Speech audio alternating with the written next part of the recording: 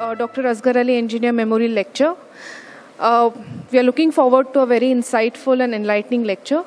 To proceed with the lecture, I invite the dignitaries on the dais. Um, I request them to take their seats. So, uh, the chair, we are expecting him shortly. So, uh, he's in a, yeah, he will be here shortly. So, I uh, request uh, Professor Sukhdev Thorat, the speaker today, to please come on the dais and be seated.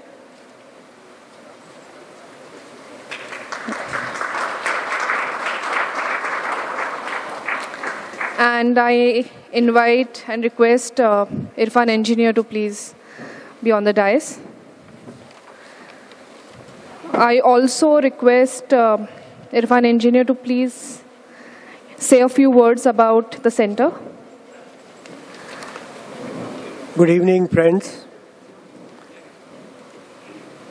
It is a pleasure to be here this evening with all of you.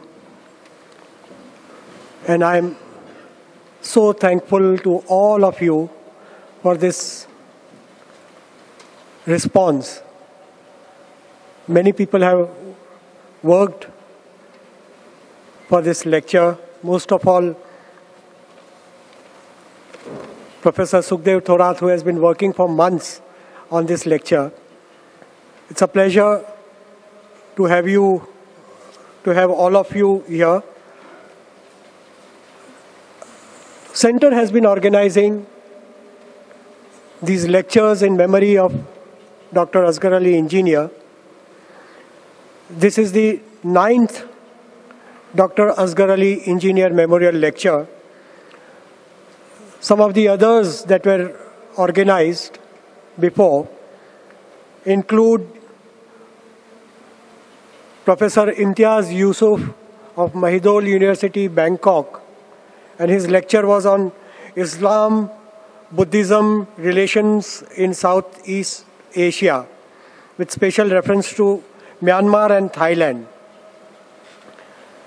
The second lecture was delivered by Professor Mushirul Hasan, meaning metaphor and martyrdom in colonial India. The third memorial lecture was delivered by Sri Wajahat Habibullah, the former chairperson of Minorities Commission and the first chief information commissioner. And his lecture was on Islam in India, challenge or promise. The fourth lecture was delivered by Professor Faizan Mustafa, Vice Chancellor of Nalsar Law University. And the topic was Freedom of Religion in India, Contemporary, contemporary Challenges. Fifth lecture was delivered by Professor Romila Thapar, and the topic was Indian Society and the Secular. Sixth lecture was delivered by Professor Christophe Jaffrelot, and his topic was Dr. Ambedkar and Democracy. Seventh lecture was delivered by Professor Dietrich Reetz from Germany, and his topic was Muslim global actors from South Asia, world making from the margins of Islamic world. Uh, eighth lecture again was professor by Professor Christophe Jaffrelot in Mumbai on the same, the earlier lecture was in Delhi and the next lecture was in Mumbai uh, and the topic was again Dr. Ambedkar and democracy and this is the ninth lecture.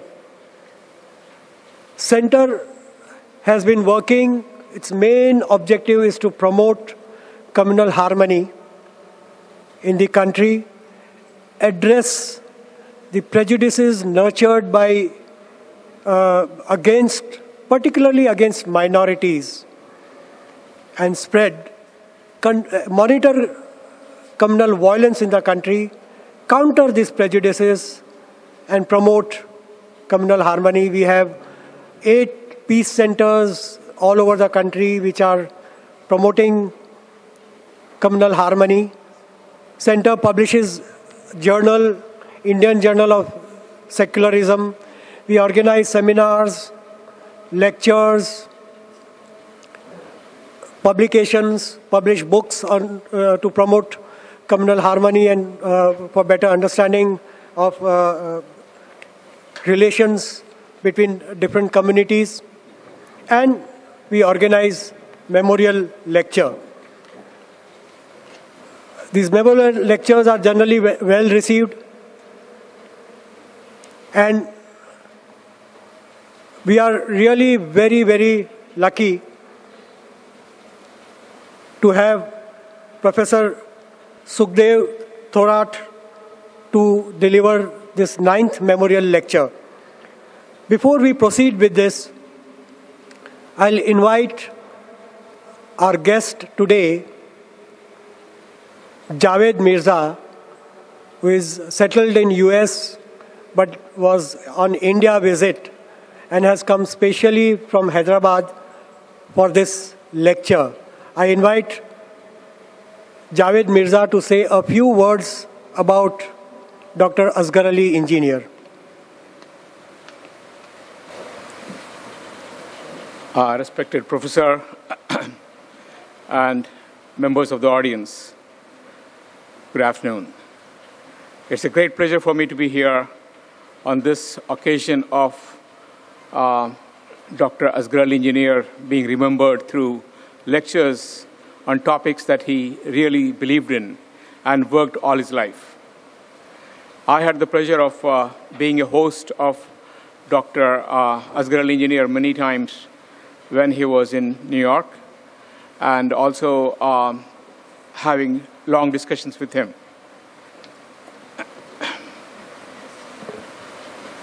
What made me attracted towards Dr. Asghar Engineer was his unique approach to problems. He was not content with superficial analysis. He went into socio-economic aspects of a problem. Socio-economic aspects is something that he derived by doing uh, detailed investigation of things.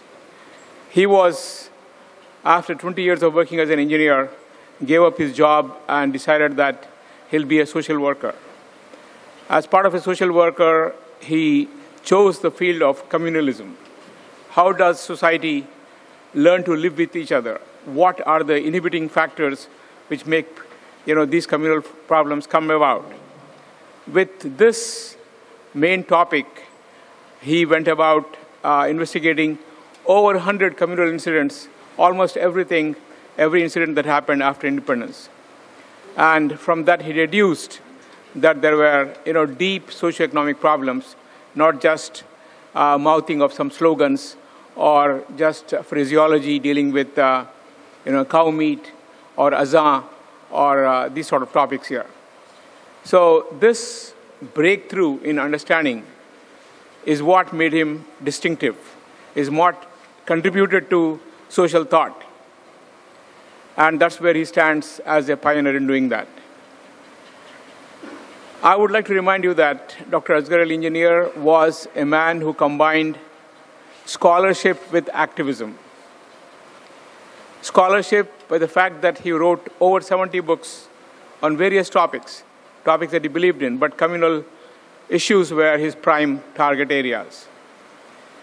Activism was when he stood up to fight against the communal problems, not only by investigating, going there personally, but also by taking up um, how does a society react to this? How does an organization deal with this? So he started an organization called Ekta. And the point of Ekta was to forge communal friendship, harmony, and you know, to overcome the, the divide that society has placed between you know, people of different religious communities, different state of societies, different castes. So that way he was a scholar activist. Along with being a scholar activist, part of the activism was reformism. In a very traditional Islamic society, he brought about the idea that you know, Islamic uh, society is something that has to cope up with modern day society. which means bring about reforms so that the interpretation of Islam should be done in accord with what is happening in today's life. He took the example of liberation theology, which was sort of very much rampant in, in, in especially in South America. So with that, he said that religion can be definitely a tool for progress. It is how you interpret that. And he sought among the scholars and himself through his articles to interpret it in a way where you know, society moves forward and is not reactionary or going backward. Within his own Bohra community from which he came, you know, he realized that the establishment was very conservative, very, um, very archaic, and even exploitative. So with that, he dared to oppose the leader of the Bohra community, and for which, you know, he was assaulted so many times. He was assaulted in Cairo, in Hyderabad, at his home, in his office. There were like five fatal attacks, but he never budged. So that was the quality of the man. Believing in social justice because of the injustices that, that prevalent in society, he was an early proponent of, of, uh, of the Mandal Commission. Mandal Commission advocating that there has to be a compensation or a readjustment of social factors and forces through reservations. So he was a very early proponent of that, supporter of that. And by doing a class analysis, a Marxian analysis, he understood that society must be looked up not only you know, through the conventional lens, but also through the lens of how uh, social dynamics, class dynamics take place, and uh, you know, propel it in a direction where there is more fairness, more equity, and there is more happiness. So it gives me great pleasure to uh, talk about him, somebody that uh, I had known personally quite a bit, and uh, I hope that the center here uh, proceeds likewise many times in inviting dignitaries like Professor Sukhdeo and others here and deals with issues which are relevant today. And as you know, you know, we are facing troubling times. And if we don't deal with them, then of course, you know, we, we, seek, we, we see no solutions. Thank you so much.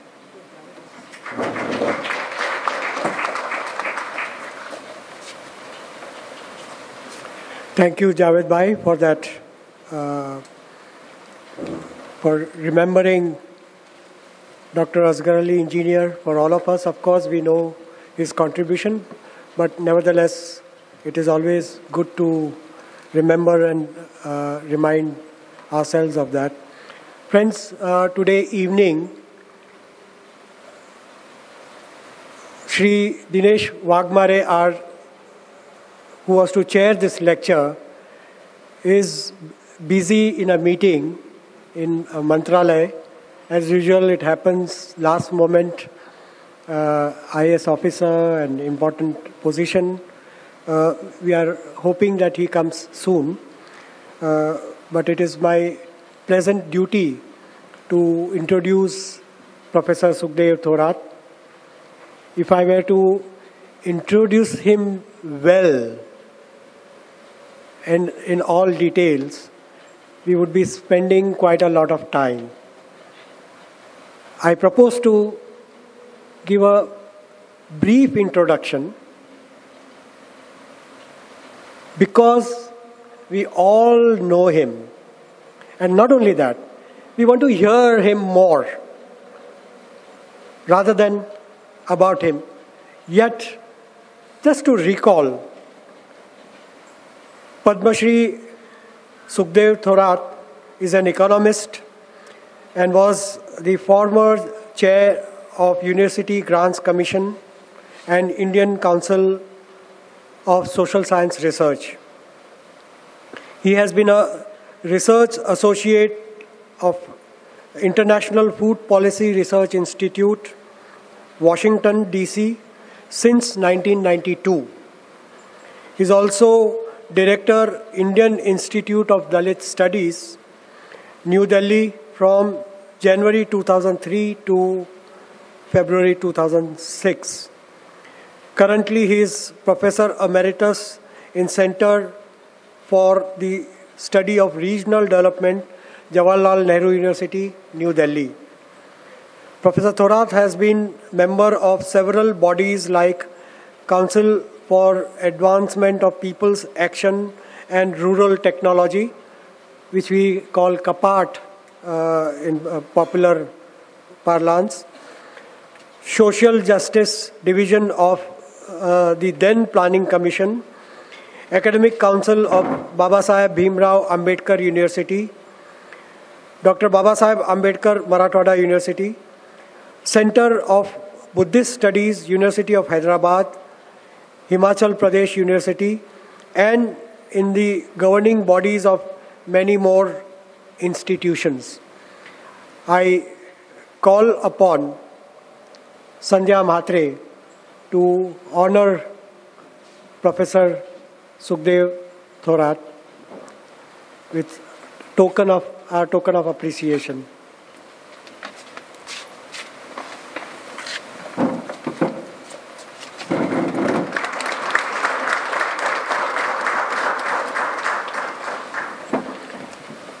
I will introduce the chair as and when he comes and honor him too. I'm sure he's stuck up in very important meeting in Mantralaya, uh, which is unavoidable, and he'll be soon with us because we communicated even today morning uh, with him about this uh, lecture and kept him informed, and we are expecting him sooner rather than later. But at present, without much ado, we are all eager to hear Professor Sukhdev Thorat, and so I invite him to deliver this ninth Asghar Ali Engineer Memorial Lecture. Thank you, Professor Thorat. First, first. This is second. Well, good afternoon. Uh, good evening, rather. Uh, Irfan Engineers, uh, the director of the Center for, for Society and uh, Secularism, ladies and gentlemen. Well, I am really uh, indeed very happy uh, to be here to give a memorial lecture in the memory of one of the important person uh, who has really contributed quite significantly uh, on one of the very important social cause. I do remember that uh, Dr. Ambedkar, in one of his very celebrated speech in Pune, uh, Ranade, Gandhi and Jinnah, he compared Ranade with Jinnah and Gandhiji. Uh, please come in, find out some place. Yeah. Uh, I was uh, sharing with you the the one of the speech of Dr. Ambedkar, uh, which he delivered in Pune on Ranade Gandhi and Jinnah, and there he tried to define who is a great person. And I don't want to go into greater detail, but he laid down three criteria. One is that a person should be knowledgeable. Uh, uh, ignorant person cannot be a person who can serve society. Uh, knowledge is an important condition, but knowledge can be used for wrong purpose. Uh, we have a very long tradition in this country of using the knowledge for wrong purposes. Uh, so knowledge should be combined with sincerity, so that you can sincerely, honestly put up the issues before the society. But again, if, if you are a knowledgeable person and a sincere person, you can be a very excellent armchair professor like me or like many others. And uh, Dr. Ambedkar would say that the one who uses his knowledge and sincerity for the upliftment of the people, their level of living, is the one who is recognized as a great person. I think that by definition, uh, I think Asghar Ali engineer uh, his knowledge, his sincerity uh, to address one particular cause and many causes and try to bring some change in the society, whatever little, whatever big it is. And therefore, uh, he deserved to be remembered. And I'm very happy that I have been invited to give this memorial lecture. Friend, uh, I decided to uh, discuss on this occasion one of the very important issue which, which was close to his heart, Asghar Ali engineer's heart, and that is the issue of human rights, that is the issue of secularism. Uh, and therefore, uh, I, am, I have decided to discuss the issue of why untouchability, caste discrimination, and atrocity still persists despite law. Uh, I'm going to share some of my reflection on causes and persistence and solution. Why this issue? Uh, the issue uh, I have decided to speak simply because uh, this has become a very important issue in Maharashtra.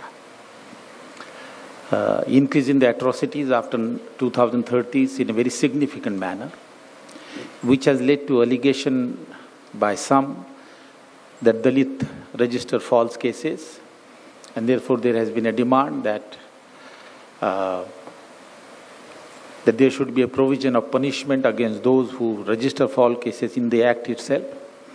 Some even went to the extent of saying that the act should be abandoned.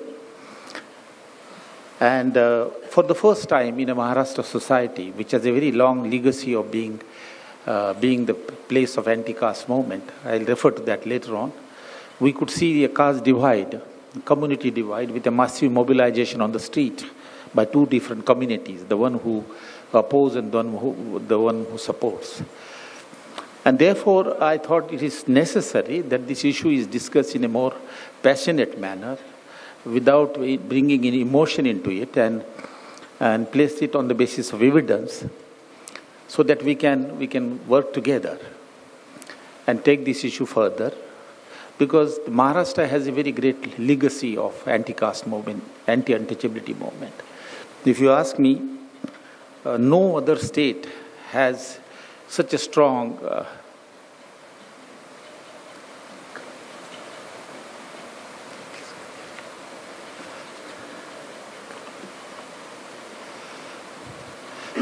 Uh, no other state has such a strong legacy of social movement, anti-caste, anti-untouchability movement, movement for the cause of women. I mean, you have to, and the important thing is that the social reformer came from all sections of society. Uh, from the Brahmin community, uh, you have uh, the son of Lokmanya Tilak, uh, who, who in fact set up and uh, social equality organization, which was set up by Dr. Ambedkar, but he set up the office. He showed a courage to invite Dr. Ambedkar and his team to his house and provided a meal and invited a lot of anger from his own family. Uh, you have Ranades, uh, you have Sane Guruji. I can name you many of them who have come from the Brahmin, Brahmin background. You have series of them from the Marathas and the OBCs. You can begin with Shivaji and you can begin with Shah, come down to Shahu Maharaj, come down to Maharishi Shinde, Patil, Namdev, Tukaram. You can, you can, you can pick up anybody. Gadge Maharaj, Tukdoji Maharaj. There are series of people, those who have come from Maratha background and the OBC background, who got indulged, indulged into the social movement. And of course, among the Dalit, uh, I did not name Kishan Phaguji Bansod came from Nagpur, More came from Marathwada region, uh, Kamble, Shiva Januba Kamble from Pune, and of course Dr. Babasaheb Ambedkar. We have this, this great legacy of social movement, and, and therefore this caste divide between the community, ex- expect, explain explicitly in caste is something which is not the legacy of Maharashtra, and it's a lot more disturbing. And therefore, I decided to bring some clarity and share my thought with you so that we can, we can, we can discuss this issue together the way others have discussed. Uh, I will discuss four themes, uh, address uh, four themes. The first thing will be that what has been the change uh, and what continues in terms of practice of untouchability and atrocity. Atrocity is the uh, main focus Second, why untouchability and atrocity still persist despite law?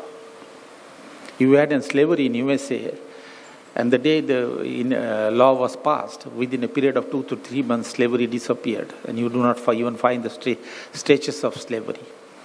Of course, race discrimination persists, but slavery disappeared because there was a law. We had a Anti-Untouchability Act in 1955, and anti-untouchability, uh, untouchability still persists in a very significant way. So why untouchability and atrocity still persists? That is the issue which will take my some of my time. And then lastly, what can we do? What the government can do, at least to minimize, if not to eliminate, or uh, to use Dr. Ambedkar's word, to annihilate the caste, but at least we minimize the atrocity and untouchability. And lastly, then in the course of my discussion, I will try to answer some of the allegations made by some section of the society that Dalit register false cases and that there should be a provision in the atrocity acts for a penalty against those who register, uh, who file uh, false cases. I will discuss this issue whether this is legally and morally correct to do. Well, let me come to the uh, some provision in the Constitution and the legal provision very briefly. The, I would not like to go into greater detail in the section on fundamental rights, but it is good enough for me to mention that Constitution is based on the principle of equality and non-discrimination. There are many other provisions, but these provisions, which are concerned with the Atrocity Act and Untouchability Acts, are very prominent in the constitutions. Uh, that there is no discrimination uh, on the basis of caste, religion, race, gender, or, or place of origin. It has been very empathetically uh, mentioned. Um, and this is important to mention that uh, this overturned the Manusmriti completely. It negated the Manusmriti completely, which, was, which is based on the principle of inequality. But what is important is that because of Dr. Ambedkar, untouchability is also brought into the fundamental rights, and untouchability is prohibited and made a punishable offense. Remember well, untouchability is in, the funda- in a section on fundamental right in the Constitution. Now, as a follow-up of this provision in the Constitution, that constitutions recognize equality, Constitution recognize non-discrimination, that everybody should have equal status, equal facility, equal opportunities, irrespective of social identity. But in practice, you find just the opposite, and therefore, uh, the directive principle of the Constitu- Indian Constitution put responsibility on the state to pass laws and the policies to, add, to, to achieve the goals set out in the fundamental rights. So you have an equality, you have a principle of non-equality, uh, equality and non-discrimination. How do we remove the discrimination that persists in the society? And therefore, right in 1955, five years after the, immediately I think after the Constitution, Dr. Ambedkar being the at the helm of the affair of the constitution making began to articulate the Untouchability Act, and Untouchability Offence Act was passed in 1955. It was followed by an Atrocity Act in 89. I'll come to that in later detail as to why we had an Atrocity Act, despite the fact that we had an Untouchability Act. And Atrocity Act again was amended a couple of times, but most recently in 2015 by this very government. Now, let me briefly tell you about these two acts, uh, and, and then I go to the the implementation of this act. Uh, the Untouchability Offence Act, as everybody knows, I think the Secretary uh, knows very well and other people knows very well. There are people from NGOs here, okay, I think uh, is here, yeah. That it, it, it has a minimum provision that all public facilities or private which are for the public, everybody should have equal access. And if the untouchables, former untouchables, are denied, there is a punishment. That is the limited provision of the Untouchability Offence Act. It was named as a Protection of Civil Right Act in 1976 uh, by, the, by the committee. Now, in 89, we brought a, our government brought in another act called Atrocity Act. Now, why is it that the Atrocity Act is brought in? And what is the difference between the Untouchability Act and Atrocity Act? What government discovered in the course of implementation of the Untouchability Act is that there was an opposition by, certain, by higher caste for the, to the untouchable seeking an equal right. But that opposition was not democratic. That opposition was not through discussion. That opposition was through violence and atrocities. So therefore, uh, an act was brought in wherein, in the beginning, 23 behavior of the high caste which involve violence, psychological as well as physical, were considered to be atrocious and subject to punishment. Now, in the amendment of 2015, that, that, that forms of behavior has been enhanced to 37 behavior, which are considered to be against the law and which are considered to be atrocities. Now, Supreme Court has very rightly defined these uh, offenses. They say that it is a special class. They are not covered by the IPC, Indian Penal Code, or they are not even covered by the Untouchability Act. They are a, they are a special class of atrocities, special caste of uh, violence, and offenses being shockingly cruel and inhuman. Uh, this is a very appropriate word. I do not know whether you are having a look at the uh, look at the video that is put up on the social media. Uh, shockingly, uh, I, I, cannot describe any word. Anyway, I don't want to deviate from that. Please have a look at the that video which is the incidence of only 8 10 days. Now, these are the two acts.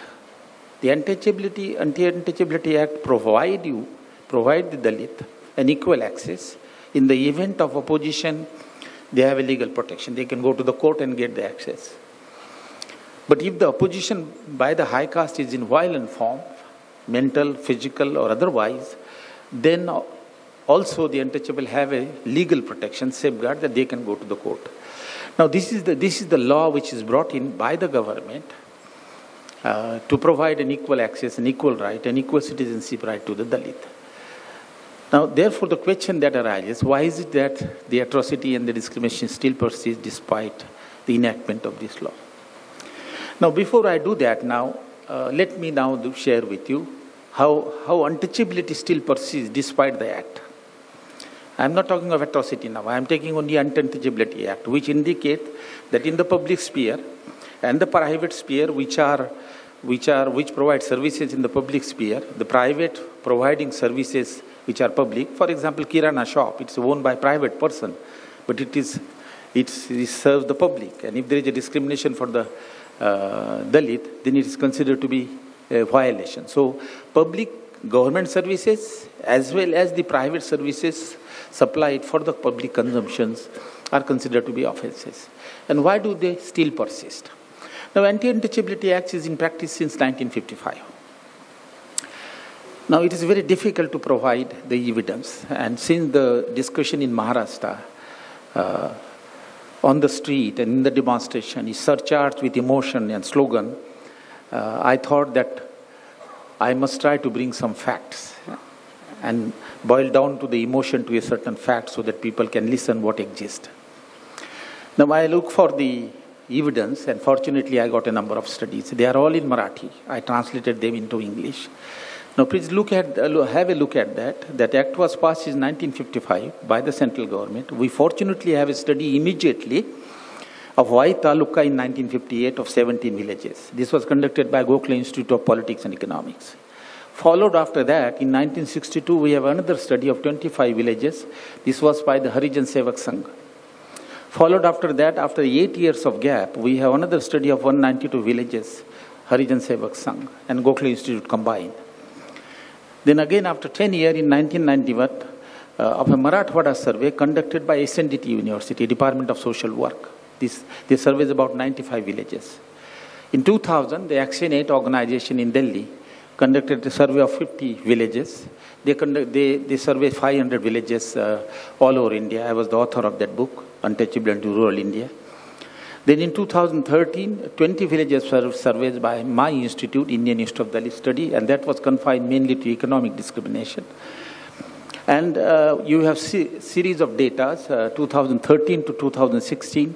I pick up only 52 cases submitted by the NCDHR, Ujjwal Uke, he's sitting here, to the parliamentary committee which came here to Maharashtra. This parliamentary committee was uh, touring India for the amendment to the Atrocity Act of 2015.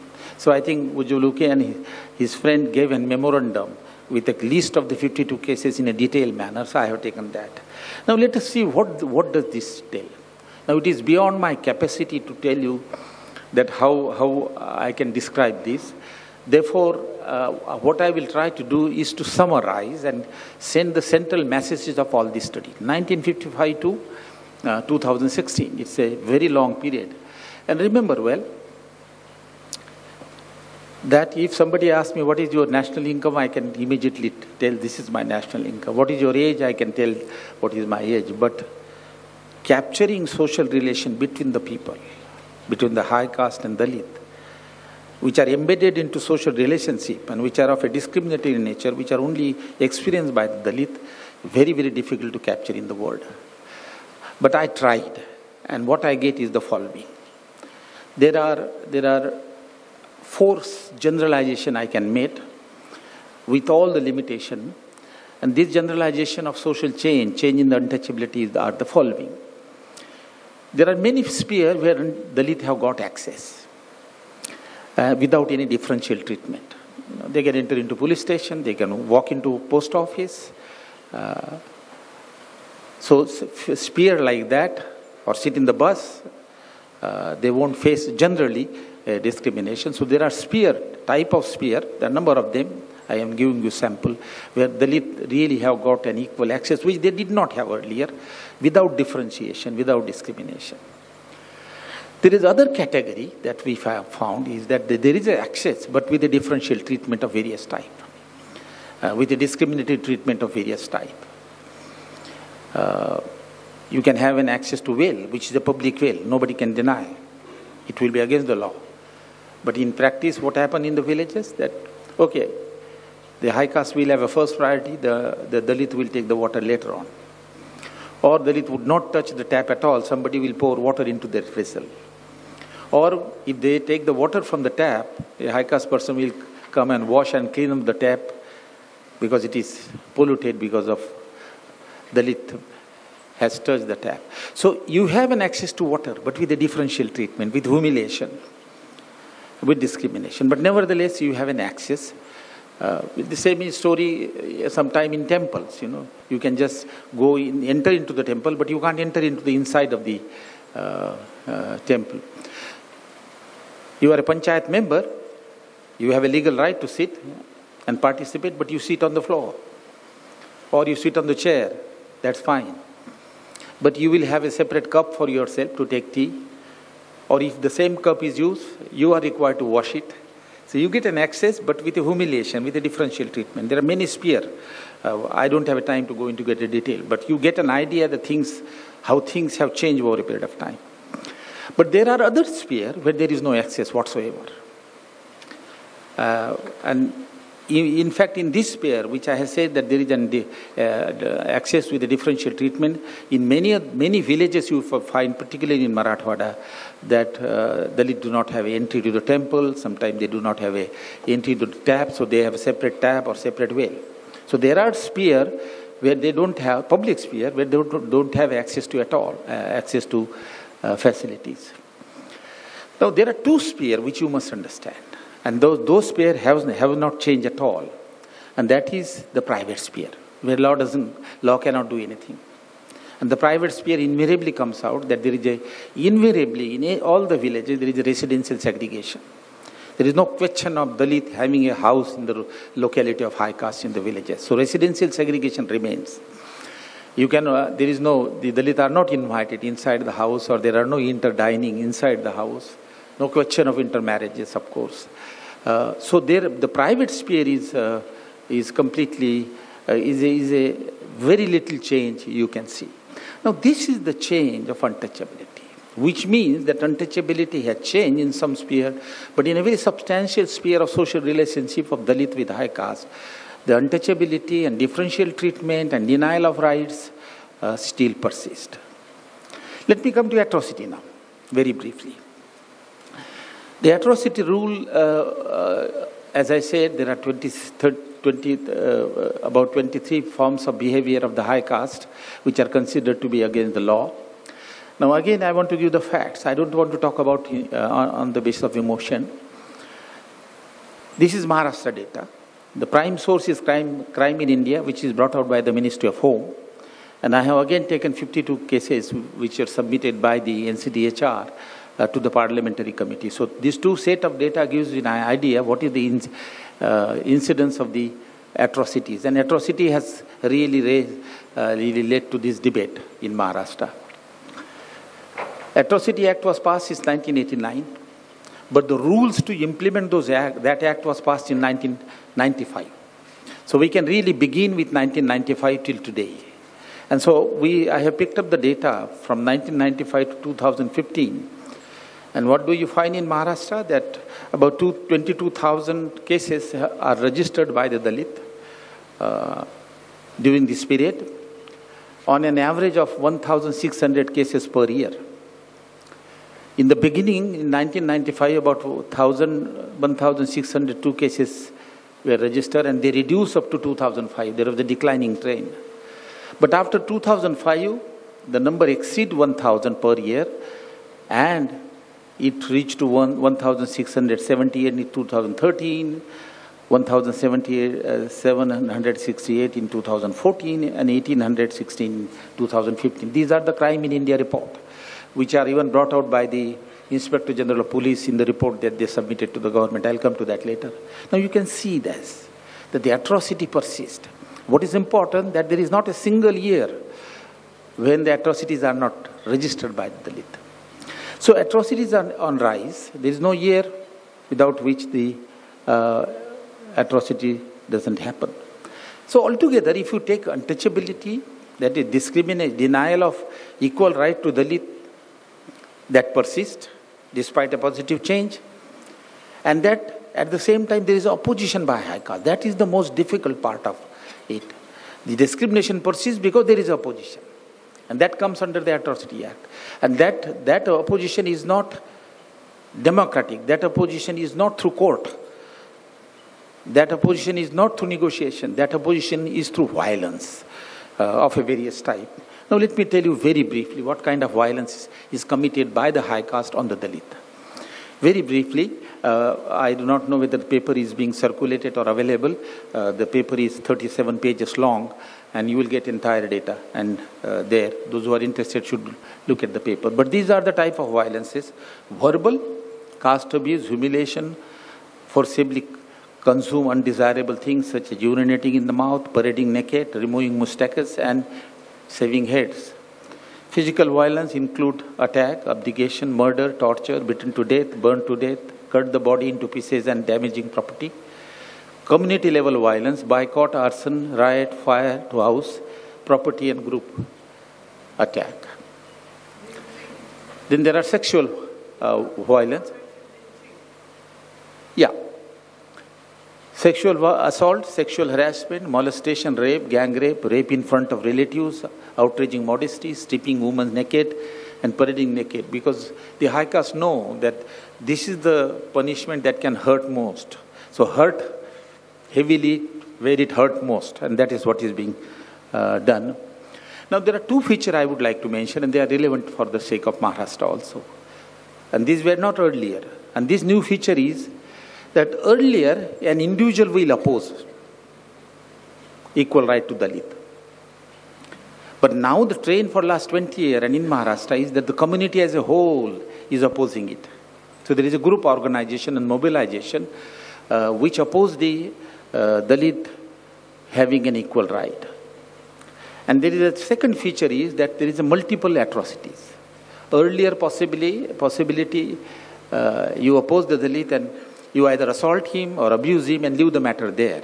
But today, if you look at the, there is a table in the, in the, in the, in the lecture, is that the, the atrocity is multiple in nature. You are abused, you are physically assaulted, and sometimes you are killed.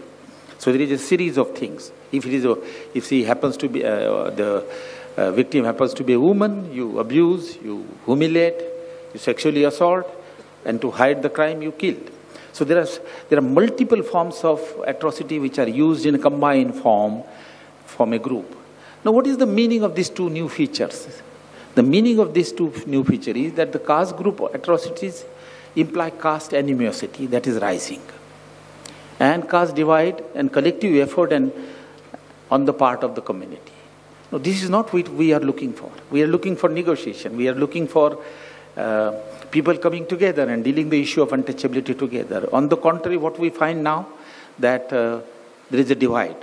And in Maharashtra, of course, the divide is of a order which I cannot imagine, that one community against the other community. Now, this is what Atrocity Act is.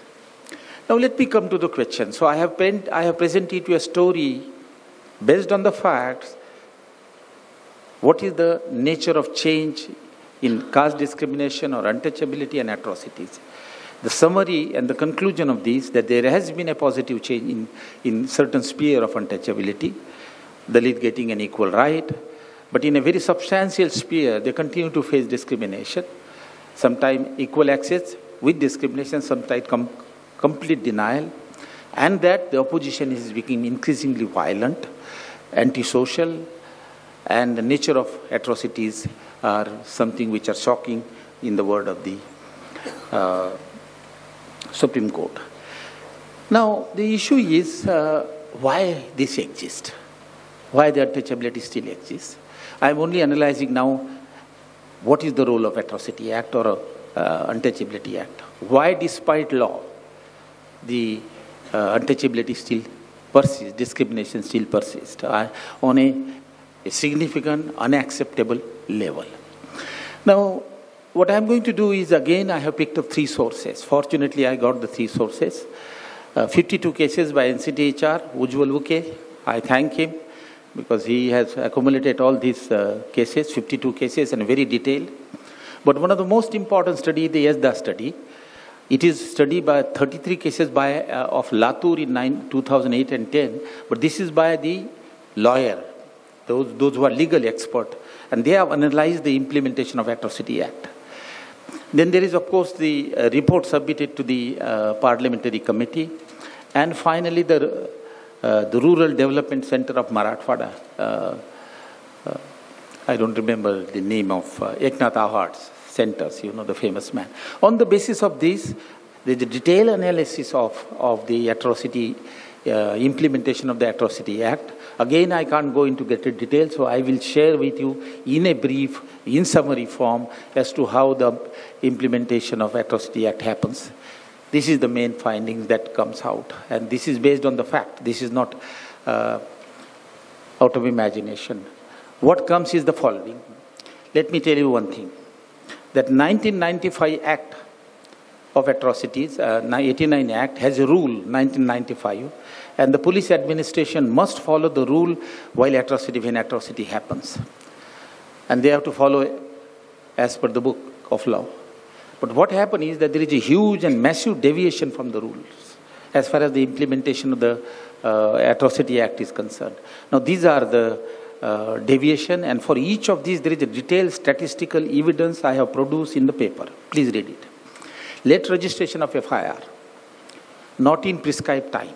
There is a prescribed time in the rule, but invariably what is being done is that the registration is being done late. And why it is done late on purpose, I'll share with you later. There is a purpose behind that.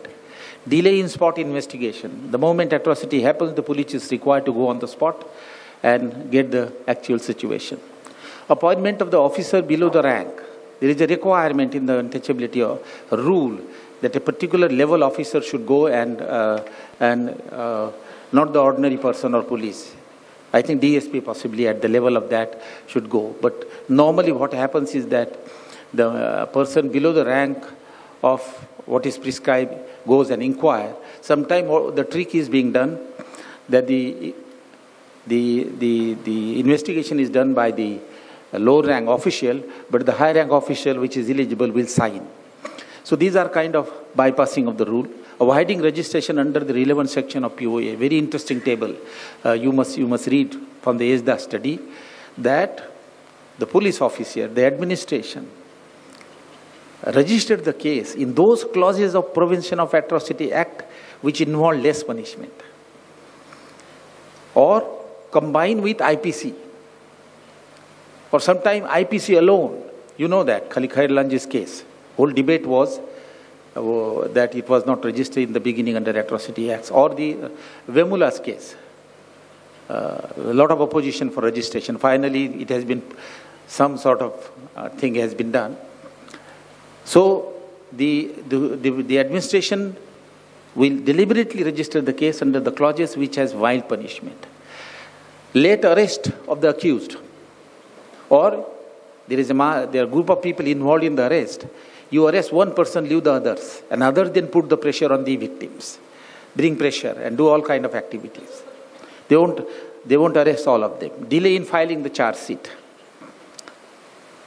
This is the point which the Inspector General of the Police, in, in their report, I hope you have read, that in reply to the to allegation that uh, uh, there are false cases uh, registered by the Dalit, the Inspector General of the Police came with the report submitted to the government of Maharashtra that there is no evidence whatsoever that Dalit register false cases.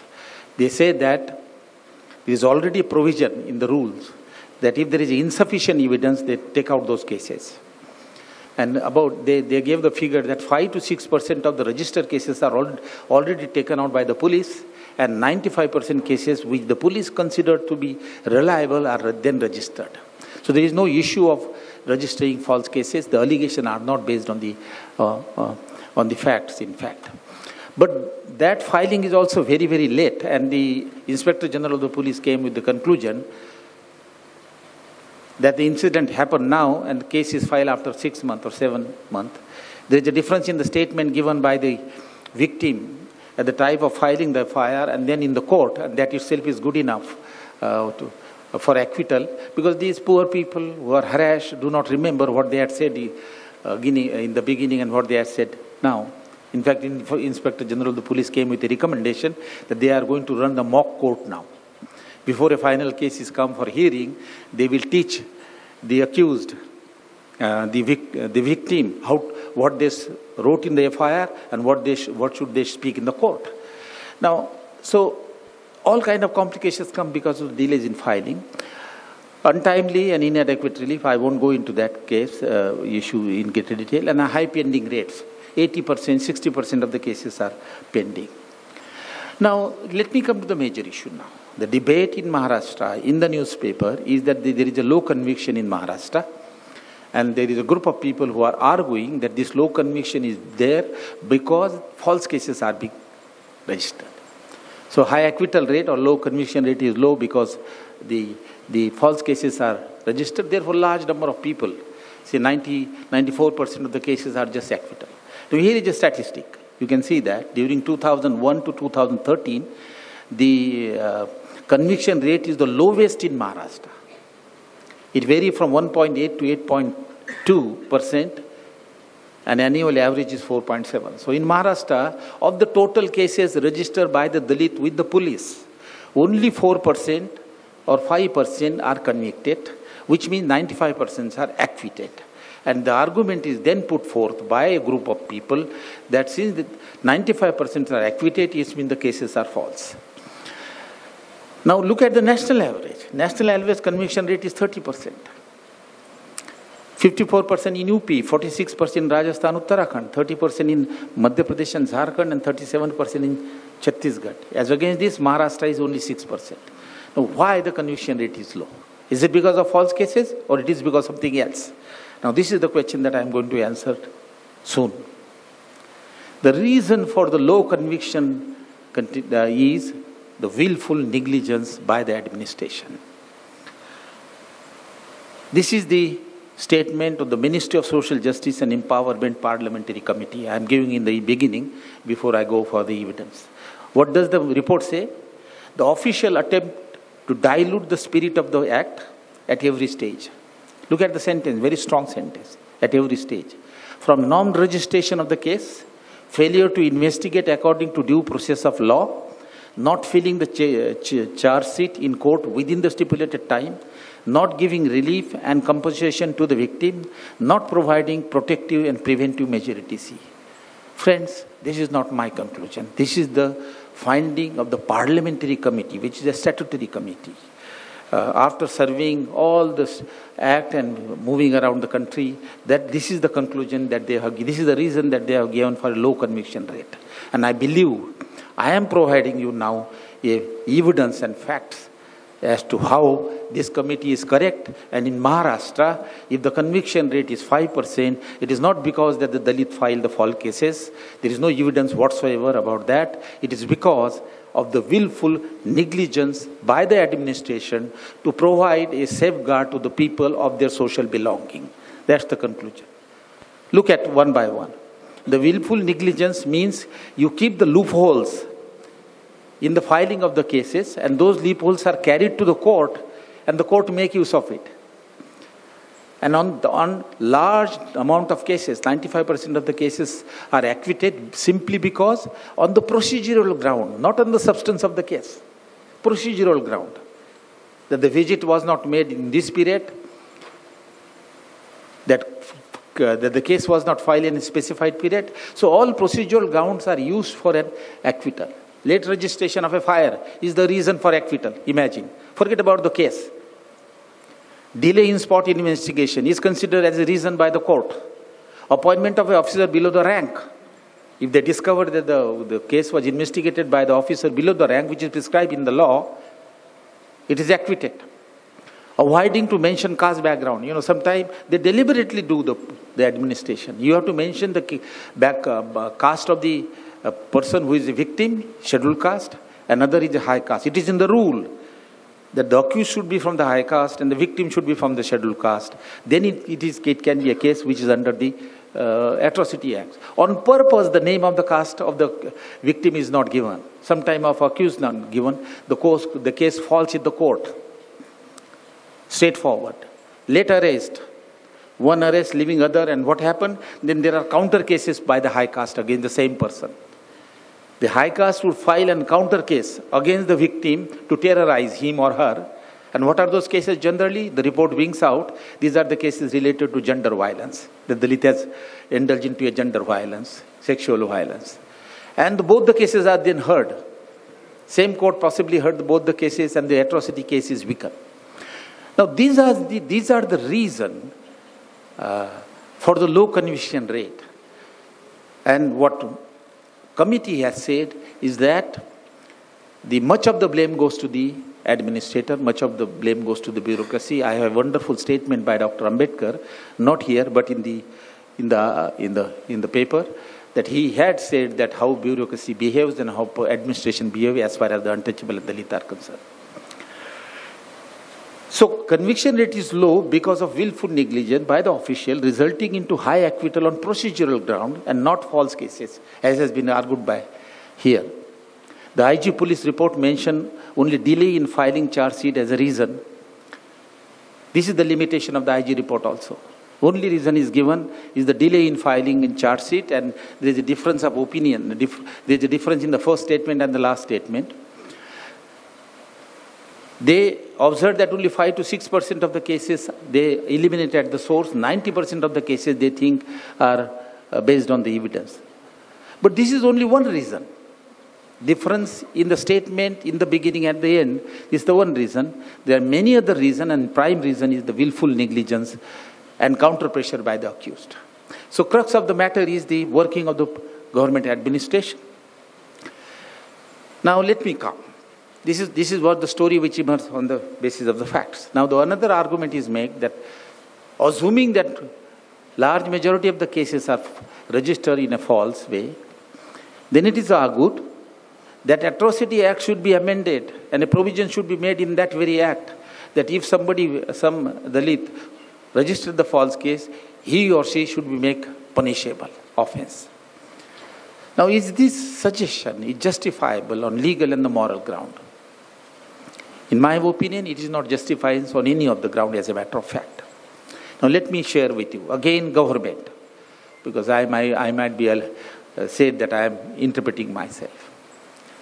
When the Atrocity Act came for an amendment, it goes to the Standing Committee of the Parliament, which is attached to the Ministry of Social Justice and Empowerment in Delhi. And that committee uh, really is given the job of looking into the amended act the suggestion which are made to amend the Atrocity Act, which was amended, approved by the Parliament in 2015, but a year prior to that, the whole process was started, and Parliamentary Committee is the key body which gives the recommendation. This Parliamentary Committee asked the Ministry of Social Justice and Empowerment in Delhi. Let me repeat. The Parliamentary Committee member asked the Ministry of Social Justice and Empowerment that we have received complaint that uh, of false cases, therefore there, therefore there should be a provision in the Act for the punishment against those who register the false cases. This is the reply of the ministry. And I'll read it for you. The object of the POA Act is to prevent the commission of offences of atrocity against the member of the scheduled caste and the scheduled tribe.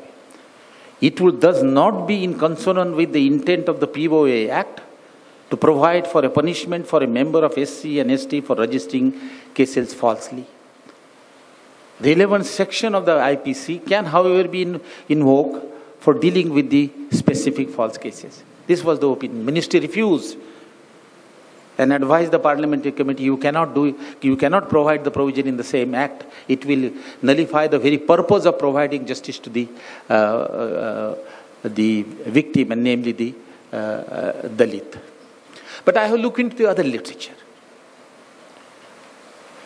legal and moral ground first is let us take a moral ground who need a protection is the accused who is economically and demographically strong enough in a village in Maharashtra, everywhere, Dalit account about 13% of population, in some 10% of population, some 7%, in some cases maybe 17, 18. Demographically, Dalit are in minority. Economically, they are the most weakest. Of the total household in rural area, 65% are wage laborer, completely dependent on the high caste, land owning communities.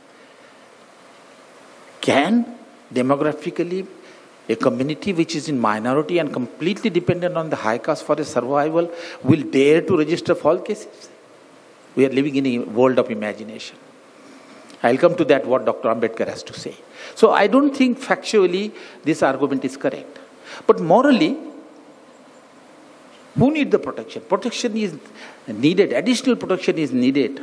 Morality demand that the protection is given to the weak and not to the strong. Here the demand is to give the protection to the strong. What is misuse of law in the law? Misuse of law is that the law is not being implemented and it is implemented in favor of those who are in a strong position. That is the misuse.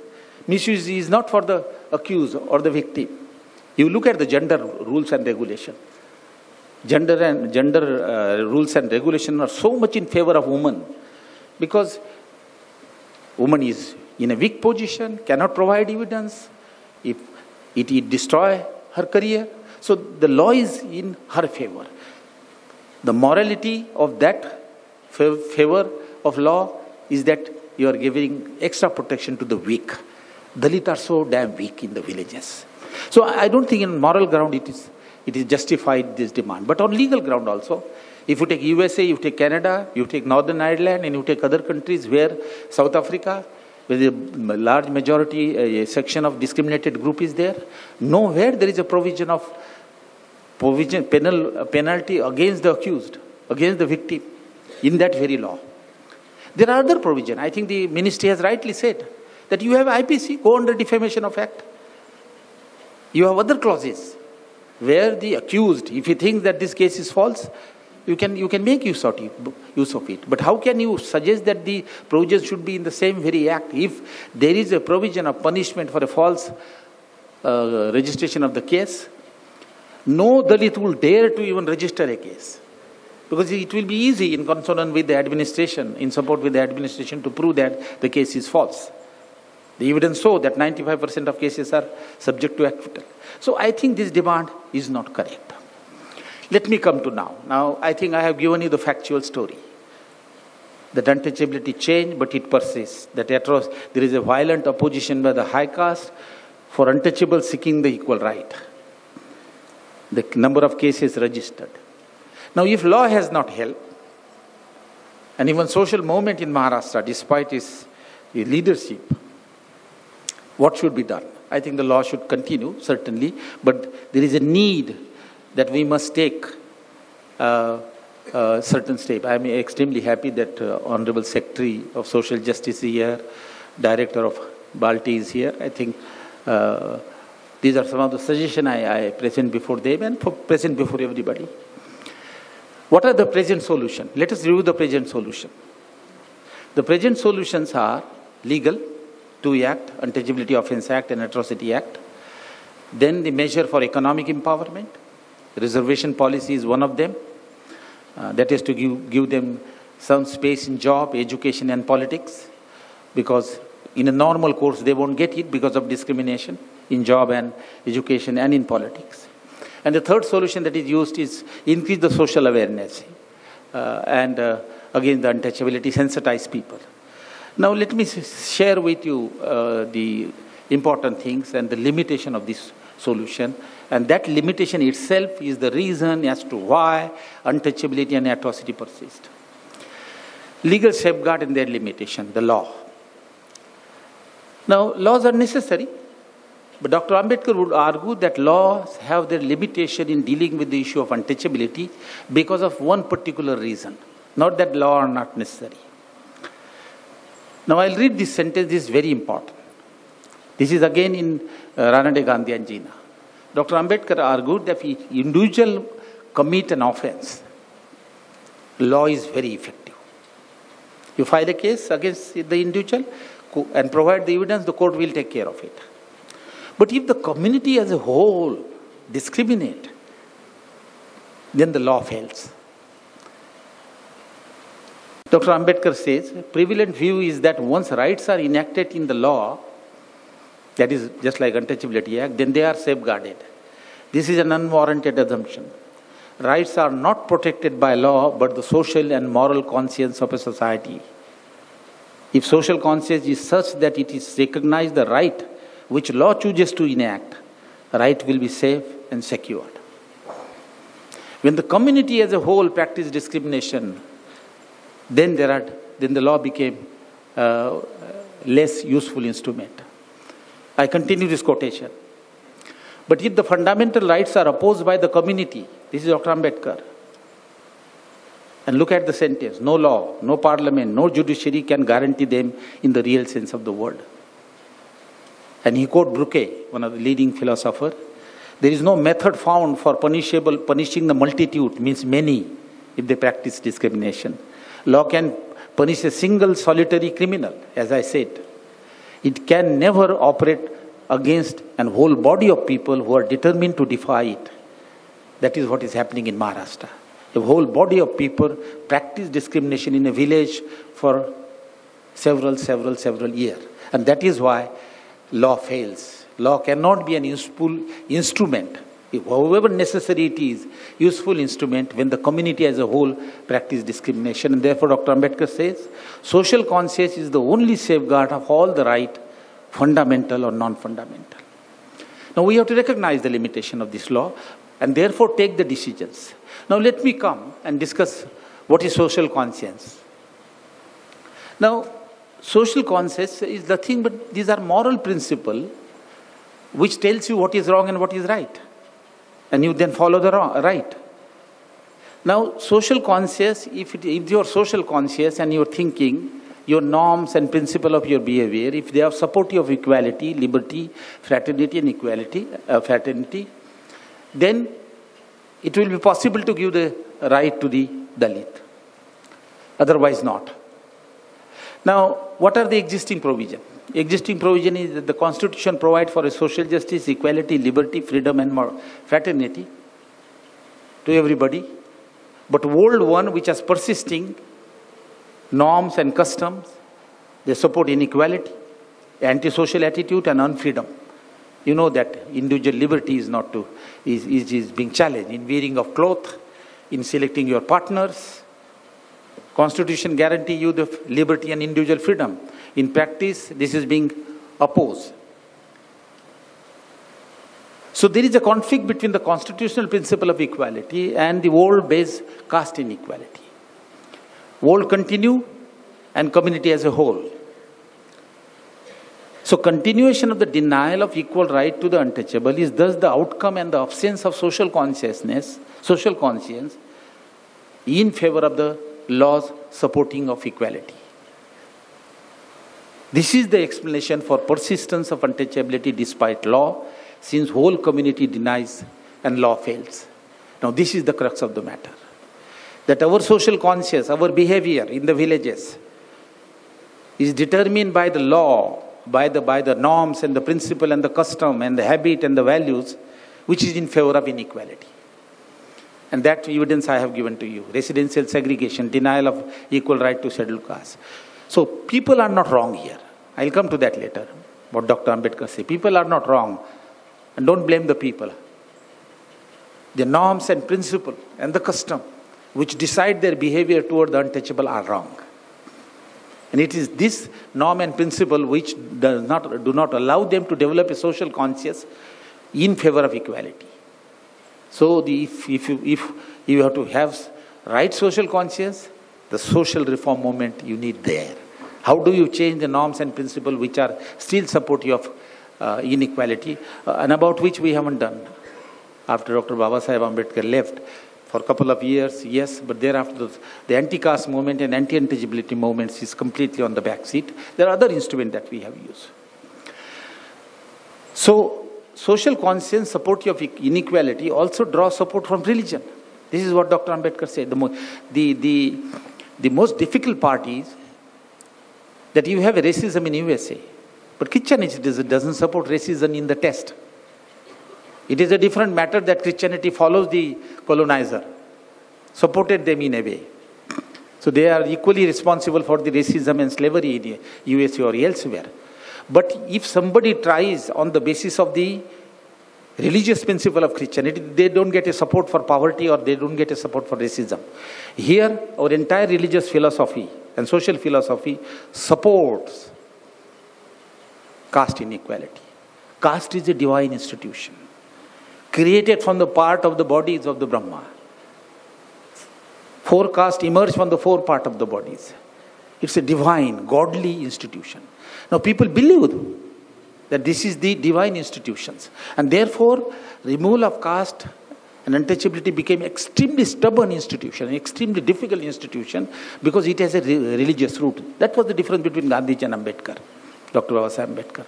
Gandhiji would say caste system and untouchability are appendixes of the Hindu religious philosophy. Baba Sahib would say no.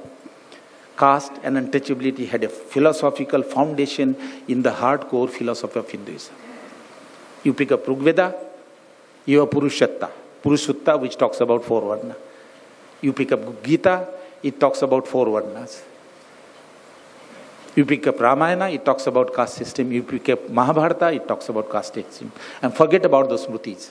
You have the classical example of Manusmriti, or you, have, you take all other Smriti. So the whole literature, there is a chapter by Dr. Ambedkar, Brahminical literature, and read that. The whole literature is there where there is, no, the, the, every literature support the social organization, it is rightly. That is the social system of the Hindus. So there is a religious uh, foundation to the caste system, and that is why it became a lot more difficult. Therefore, what is the agenda? The agenda, social agenda should be then to help people to discard inequality supportive norms and principle and transform them into one supportive of equality. Develop social conscience of the people that will be supportive of equality. Law is the key issue for social reform by the government in the state and even for the civil society.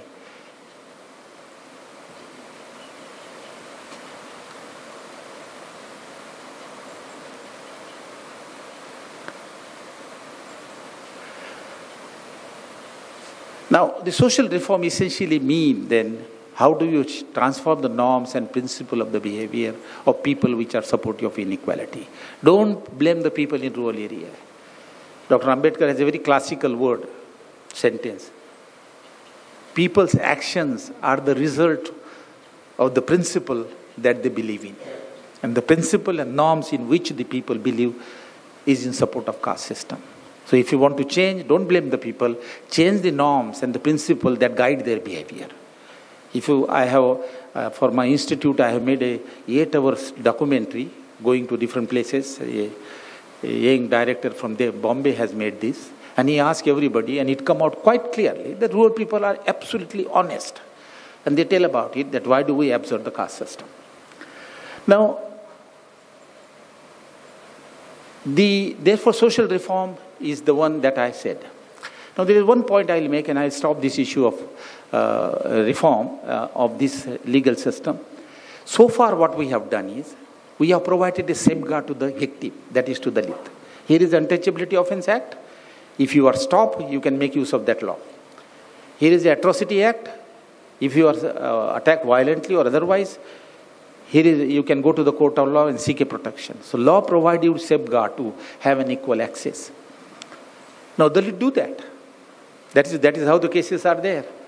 But we haven't done much about the accused.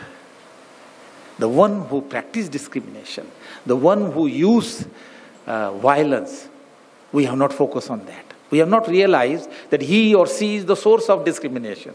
And how do we change them?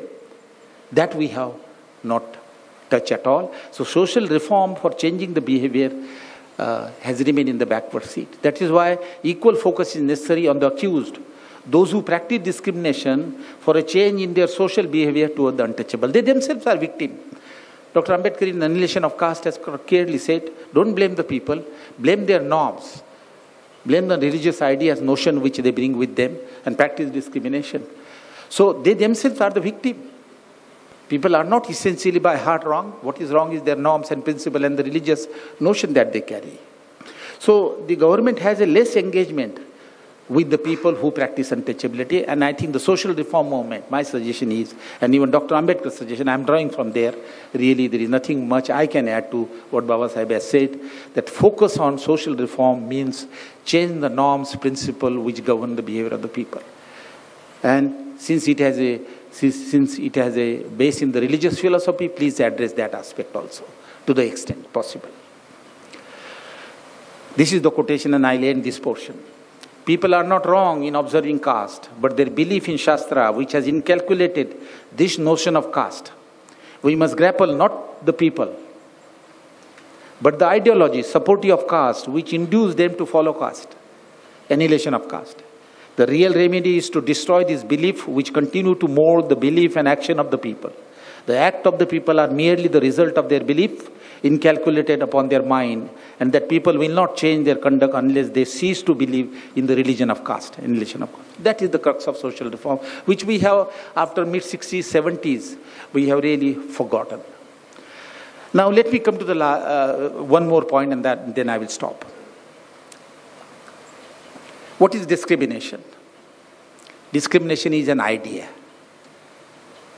Yeah, idea is being created that the people, the, the people are created by the God into four classes and each one has got some rights and those rights are unequally distributed and untouchable do not have a right. Right to property, right to education and no civic right. This is an idea which was put into practice. So you attack the idea. When I say social reform, you really criticize the idea. But that's not enough. The reason is, beside ideas and principle, economic power matters. There is economic foundation to the ideas. There is economic power with the high caste, which enable them to discriminate. So motive, let us, let us see what is the motive behind, behind the discrimination or denial of equal right. The motive is, of course, a high social status. But motive is also economic. All sources of income, asset, land, enterprises, education, employment should be with us and not with them. In the test, I'm not talking of the present day reality, in the test it is clearly mentioned. Now, why is it that those rules are formed? That I will have all economic right and you won't have? It's fine that you can have that I, sh I should have an economic right, but why do you deny to others? And why you put even punishment? If you try to take uh, land or if you try to have an access to education, why do we make that provision? The intention is quite clear. The intention is that we should have maximum economic power so that we enjoy it and we can only enjoy it at the cost of others. If others do not have, then we will have. If others have, our share get reduced. Now that is why both denial, uh, both civic right and economic right, and particularly to untouchable, there is no property and education. Which means that the caste discrimination has economic foundation, remember well. Along with the change of ideas, what we require is the change of the economic foundation of the caste system. And that is what Dr. Ambedkar, did. reservation was one of the reasons. Give them job, give them education, give them share in the politics. So economic empowerment of Dalit is very, very important because the caste discrimination foundation is also not only in ideas but also in economics. Now, let me bring you uh, the experience of other countries as to how economic power is the foundation of discrimination. There is a rampant discrimination, there was, and they continue to be there in USA and other countries. But USA is the only country where they developed the theories of discrimination. These are all laureate. Becker in 1956 produced a book, Economic Discrimination. And there he talked of discrimination of race and gender. Chicago University refused to publish the book of Becker. Finally, he managed to publish the book from Chicago University and he got a Nobel Prize for that book. Devar knows about it. Arrow, another Nobel laureate, he developed an economic theory of discrimination. Akerlof, who is still alive, he developed a theory of discrimination. Blumer, Darity, African American economists. What is the sum of their argument? The sum of their argument, which can be applied very, which Dr. Ambedkar has very easily applied. He didn't read these. These are the theories developed in the 60s and the 70s when Dr. Ambedkar was no more, but his theories are almost similar to that of uh, these people. What is the motive behind the discrimination? The motive behind discrimination is economic power, economic greed. And that is land, that is industry, that is capital, that is education. And Dalit will not have anything. I hope you, are, you have, whether you have read uh, that famous uh, prescription by Manu, that the only job of the untouchable, Shudra's word at that time, only job of Shudra is to serve the high caste. And among the high caste, the best thing for them would be that they serve the Brahmin. They cannot accumulate wealth, they cannot have access to education. I am literally quoting from Manusmriti. Why? Why should somebody make this provision? And take every all the power to ourselves? The reason is the economic motive. Now, all this economic theory based on race, gender, why is it that the male are opposing the reservation to the woman in parliament? Very slowly. They constitute 52% of the state population, India's population, and they are only 10% in the parliament. They are asking, let us give at least 30%. They are not willing, very reluctant. The reason is because we will lose our seat. So it's a question of give and take. And discrimination here uh, is is beside the social status, and develop an idea is also for the uh, economic motive. Now, therefore, this makes very, very difficult uh, for the Dalit to seek the justice. Let me finally finish with this before I come to the suggestion. That if economic motive is the power of continuing discrimination, then what is the situation in the villages? The situation in the villages is such that Dalit cannot afford to get us justice. Very slow, very slow speed. Most of the atrocity happen in the villages. The economic and demographic imbalances in the villages is such that the Dalit cannot access the equal right. What are the economic imbalances? I'll give you the statistic later, but let us look at the foresight of Dr. Ambedkar in, any, in state and minorities, he said, and let me read for you, that the Hindus most often succeed in suppressing the untouchable in villages is due to many causes. The chief weapon in the armory of Hindu is the economic power which they possess over the poor untouchable living in the villages. How true he is. It is a fight between economically and demographically weak Dalit and strong high caste. 15% of Dalit, 70% of high caste. 65% of Dalit who are wage laborer, and most of the landowner are high caste. There is a, the fight is between the very two, strong and weak. Now, what Ambedkar, Dr. Ambedkar described in 1946, even today, uh, is true. In rural area in Maharashtra, I look at the figure, the Dalit account 15% of the population. Buddhist and if you take Buddhist, scheduled caste Buddhist and the Hindu Buddhist, uh, Hindu scheduled caste, it's about 15%. While the population of high caste in the village is 75%. Economically, in 2012, of the total household of Dalit, 60% of Dalits are wage laborer dependent on high caste for livelihood. How can they fight? To say that they can file false cases is something which, I, which nobody can understand. Economically, demographically, extremely weak group cannot fight and cannot get. Therefore, their struggle have been suppressed. There are series of incidences in Maharashtra where there is a violent attack against the Dalit. You know, renaming of Marathwada University, what happened in Marathwada. So, what Ambedkar says is, we remain true, that in the village, because of the imbalance in demography and economics, it's difficult for Dalit to get the right. And therefore, he suggested this. I'll elaborate later on now in last 15 minutes. Therefore, he suggested separate villages with an independent means of livelihood. Now, let me come uh, some of my thinking, and I want to share with you uh, what are the what, what, what we additionally should try to do to at least minimize, if not eliminate, uh, eliminate untouchability and atrocity. The first thing that I think government of Maharashtra should do is to give a top priority to the eradication of untouchability. At the moment, the issue of untouchability is not, is very much less on the agenda of the government. There is, uh, there are little, little campaign, that's all. But beyond that, like a poverty, untouchability, which is from which I think 15% of Dalit, of course, suffer, but 27% of OBC to certain extent suffer in some areas. It has to be brought on the, on the priority. Poverty is, of course, a daily hunger and lack of food.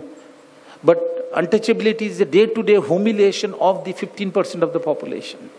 The statistic shows you only part of the story, but day-to-day experiences of humiliation and denial uh, of right. So untouchability will have to be taken, uh, has, has, to be taken highest priority. Uh, second, we do not know.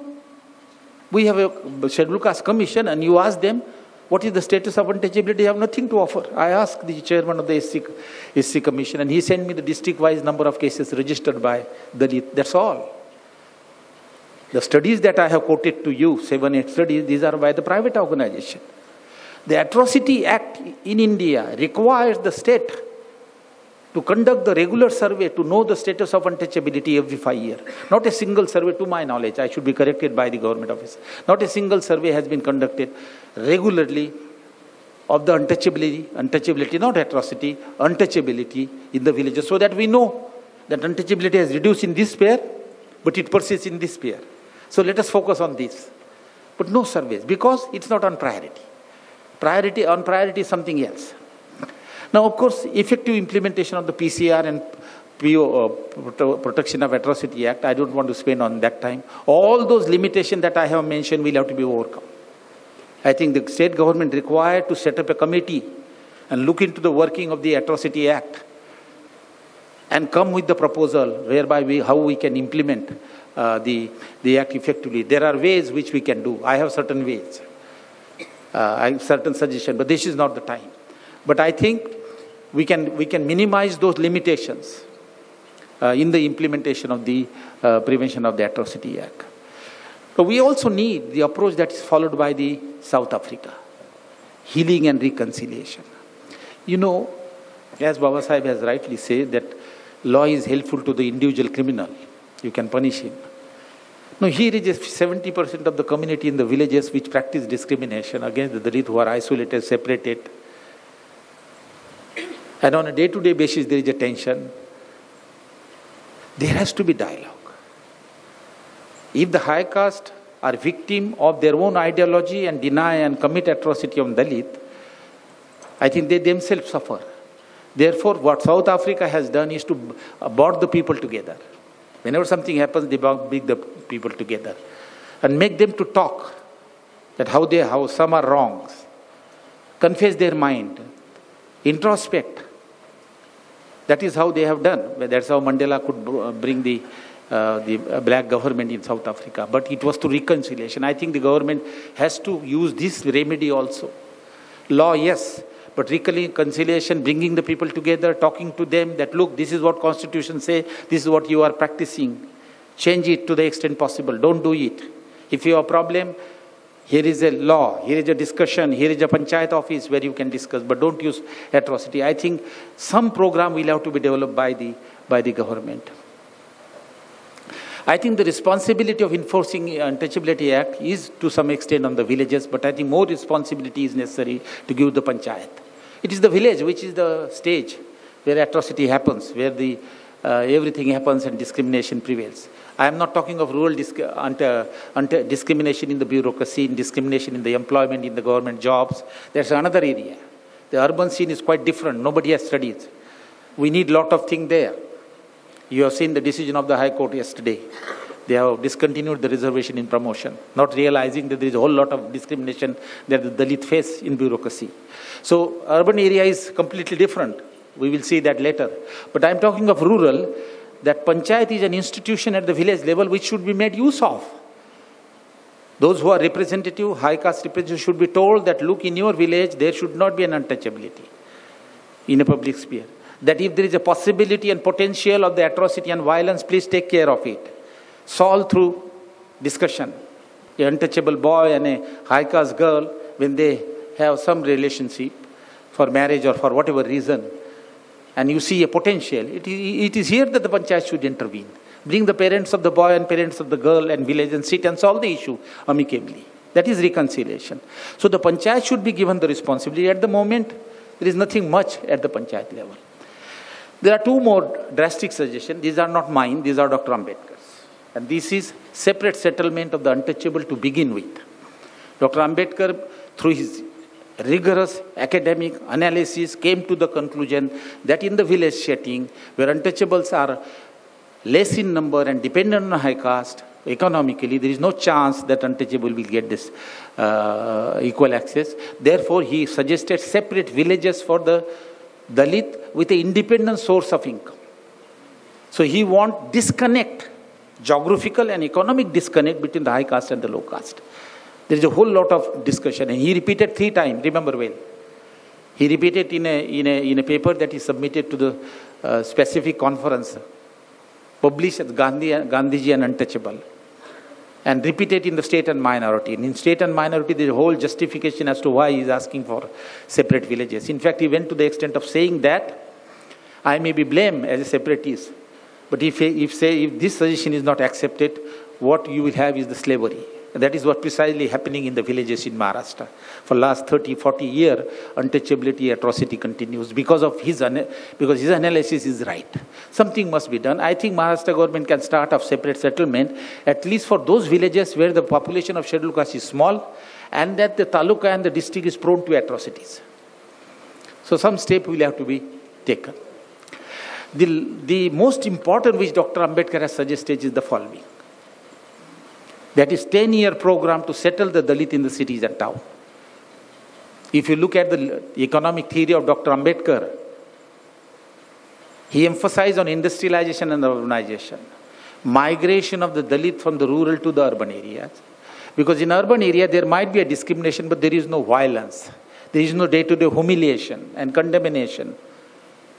And therefore, he favored the shifting of Dalit from the rural to urban area. I think I have a feeling, my suggestion is that this the government should try, that gradually over a period of 10 to 15 years, if there can be a plan of shifting Dalit to the cities so that that geographical and economic disconnect happen. Now this is not impossible. This is possible. Dalit face immense pain, remember well, in the village. Our notions are such that we don't mind inequality at all. We don't talk about that. Do we discuss that in all the villages untouchable live separately? There's a residential segregation. We don't mind it at all. That is, the, that is our notion, that those are our values about which we are not sensitive at all. Therefore, you place them in an atmosphere where there won't be a day-to-day uh, uh, humiliation.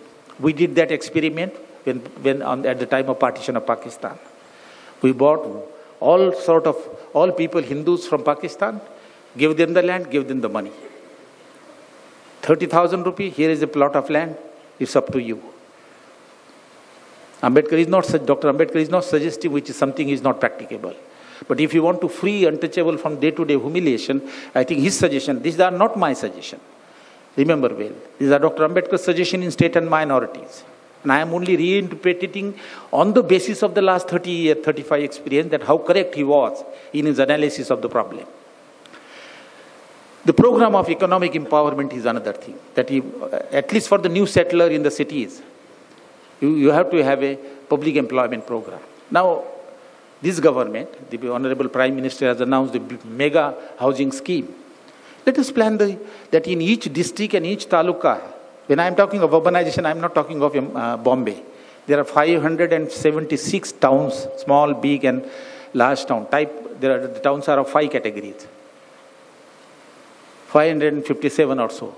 So plan the shifting and settle of, settlement of the Dalit in those, every town. Give them the land, give them the money. They will put their money and they will have their own settlement. But plan some jobs, public employment. So that they have an independent source of income and, and separate existence. There are a lot many things which I am not sharing with you. If this is the animosity between the two groups in Maharashtra now happening, Imagine the economic discrimination of the Dalits. Will they get the job in the factories owned by this group? Imagine. The unemployment rate in Maharashtra is about 4 to 5 percent at the state level. The unemployment rate of the scheduled caste is 13 percent. 4 to 5 times higher based on 2011 and 12 unemployment report.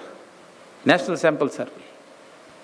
OBC is 6 percent. Muslim is less. But untouchable is 13, 14%. In fact, in the age group of 15 to 29, it is 16%. Why? Because they face discrimination in jobs. If this kind of animosity and social conflict, who will give them the job? So the best remedy is to throw them into the urban area, give them the housing, give them some money, let them start business, but provide public employment to them. Now the last one I will add is that we still need an education program against untouchability and caste discrimination by the state. This, is, this state has to do the program of education to adopt, to promote moral principle which support equality. What need to be changed? The need to be changed is belief in norm which are supportive of untouchability. Belief in community level policing with punishment, shockingly cruel and inhuman. Now, we are not, we are, we are, we are aghast, we are silent. The kind of atrocities and physical violence going on, community level violence, Una, the lynching of the boys, you cannot imagine. Saharanpur. Now, if you see the video that is being circulated now, I don't have courage to tell, share with you, but I will share with you. The moral, under the moral policing, the couple is caught sitting together. Both of them paraded naked, boy and a girl.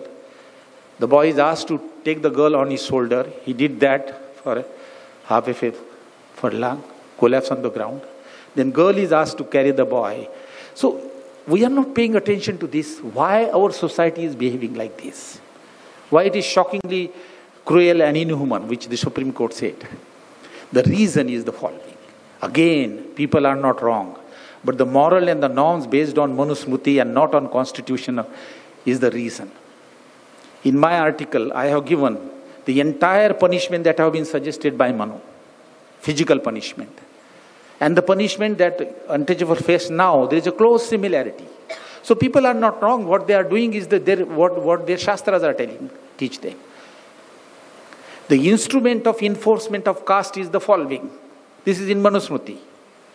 And that is called in sociology, it is called is social ostracism. That is economic and social boycott and exclusion. That is the instrument. And this is not only for untouchable, this is for the community people also. In Haryana, you know that. A, particular high caste girls, if marry a Dalit, that family of high caste is excommunicated. That is the instrument which is prescribed in Manusmriti. And of course, for Dalit, it is economic and social boycott. It is going on in Marathwada for last four months. It is going on in Andhra Pradesh for last four months. There are, there are the village people who are sitting in, in the Jantar Mantar in Delhi. Now, the, the point that I wanted to convey and emphasize against uh, on you is this, that the community level violent action and policing, is a policing, is something which people do because it is mentioned in the Manusmriti and it is in their subconscious mind that this is what we have done, dandaniti. The community can do it. Otherwise, why they are doing? They are not imagining the solutions on their own because this has been written in the test and it, has been, it is passed on. It's the legal, legacy of the past which is spill over to the present and implemented by the youth. Now, you will have to teach this through education. Education is an instrument. America is doing. Let me tell you. I don't have a time.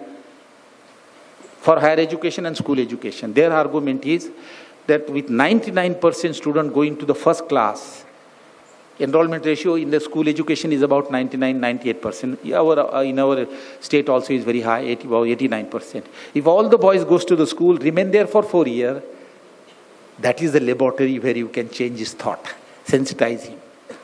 Part of them go to higher secondary part of them go higher education. So uh, educational can be used to change the norms and values of the student because their norms and values are taught in the family and society which are in support of inequality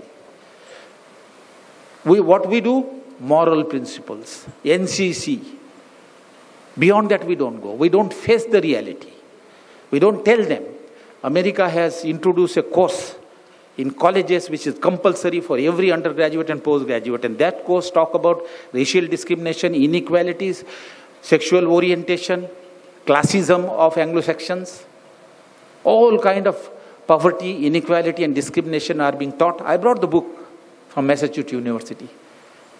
So education is being used as an instrument of social change of youth so that next generation is, will not be like the, like the present. Now I, I end with this, friends, with, with Dr. Ambedkar's vision that we are talking of nation today nowadays very, very, very strongly. What should be nation? Some are dubbed as anti-national, some are dubbed as national. So that, that has come now. Ambedkar Thoughts on Pakistan, where he discussed the concept of nation. Denying equal right, practicing untouchability, is denying citizenship to a whole lot of people. Citizenship is nothing but enjoyment of certain fundamental right. And to the extent that the untouchability and caste discrimination deny right, you are not a citizen. And nation can be strong provided you are a citizen. Now, Dr. Ambedkar talks about inclusive nation, developing citizenship.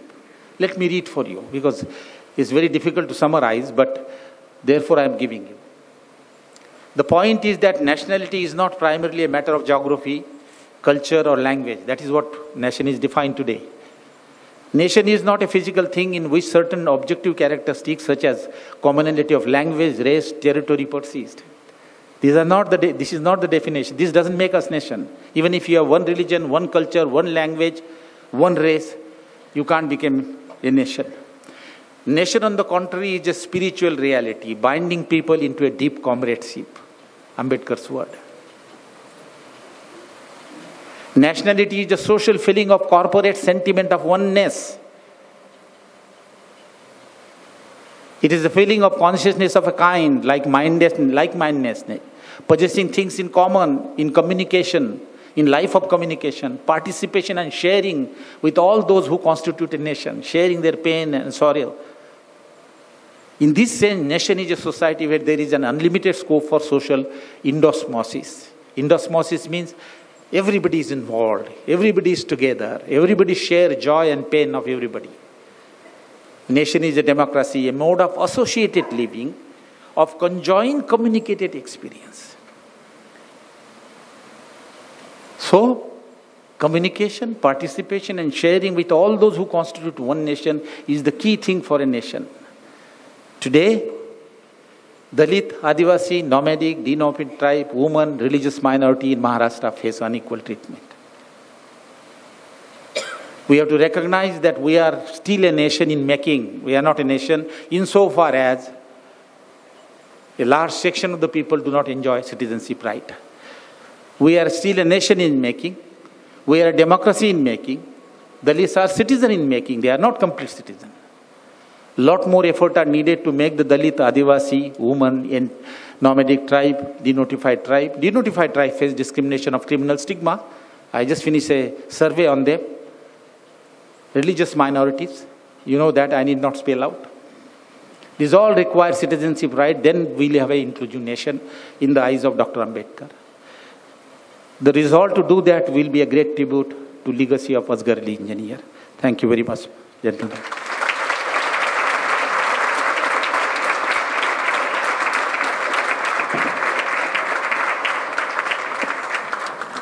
Thank you very much, Professor Thorat, for delivering a very erudite lecture, pointing out that untouchability is increasing, roots of untouchability, and also solutions, some of the solutions to untouchability.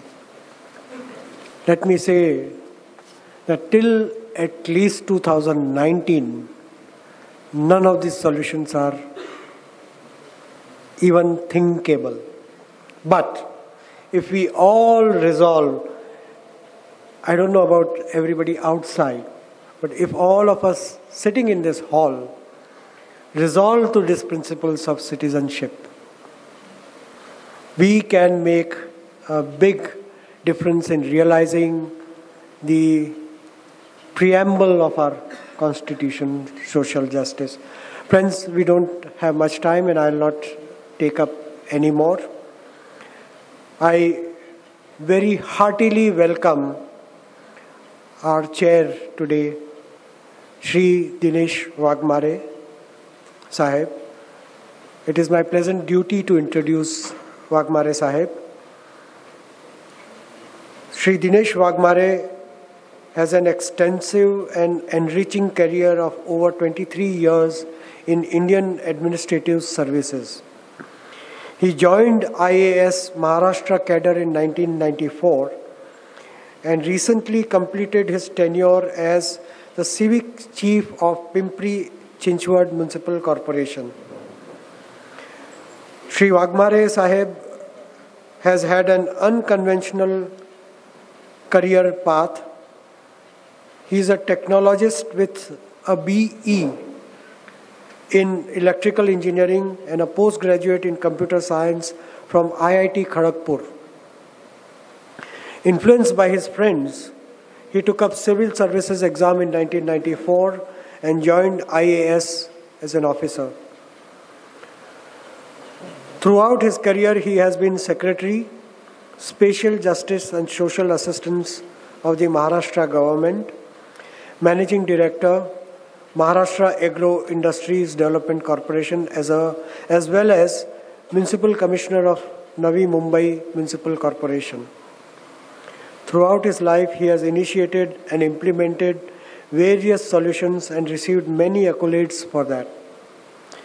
In 2014, he received the Satyen Maitra National Award for Best Implementation of Post Literacy Mission from Honorable Vice President of India.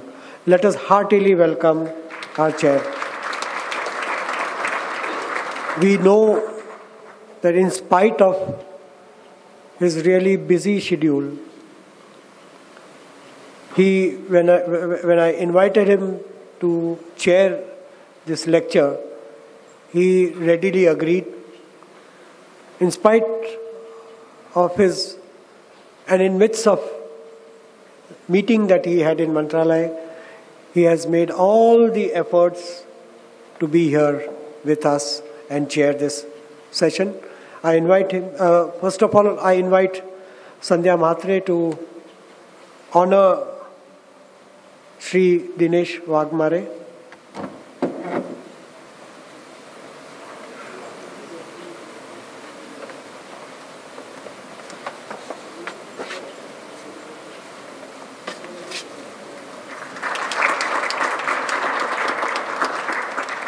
I invite Waghmare Sahib to deliver his uh, remarks as a chair.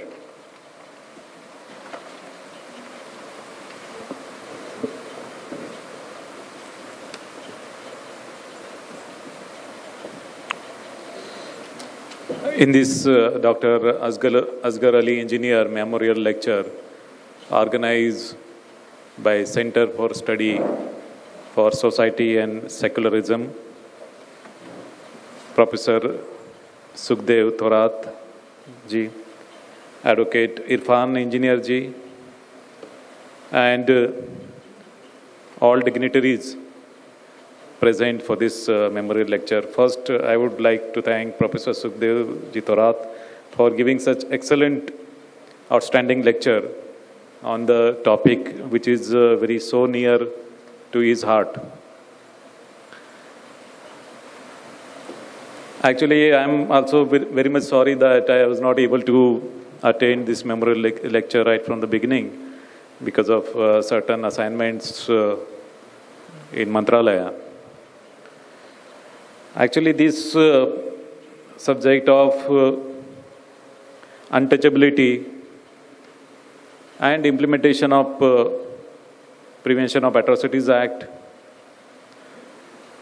our department, as a Social Justice and Special Assistance Department, actually monitors the implementation of this act.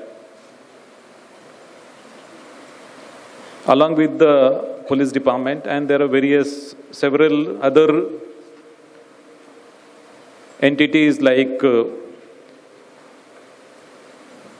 Scheduled Caste and Scheduled Tribe Commission, and also Dr. Babasaheb Ambedkar Research and Training Institute.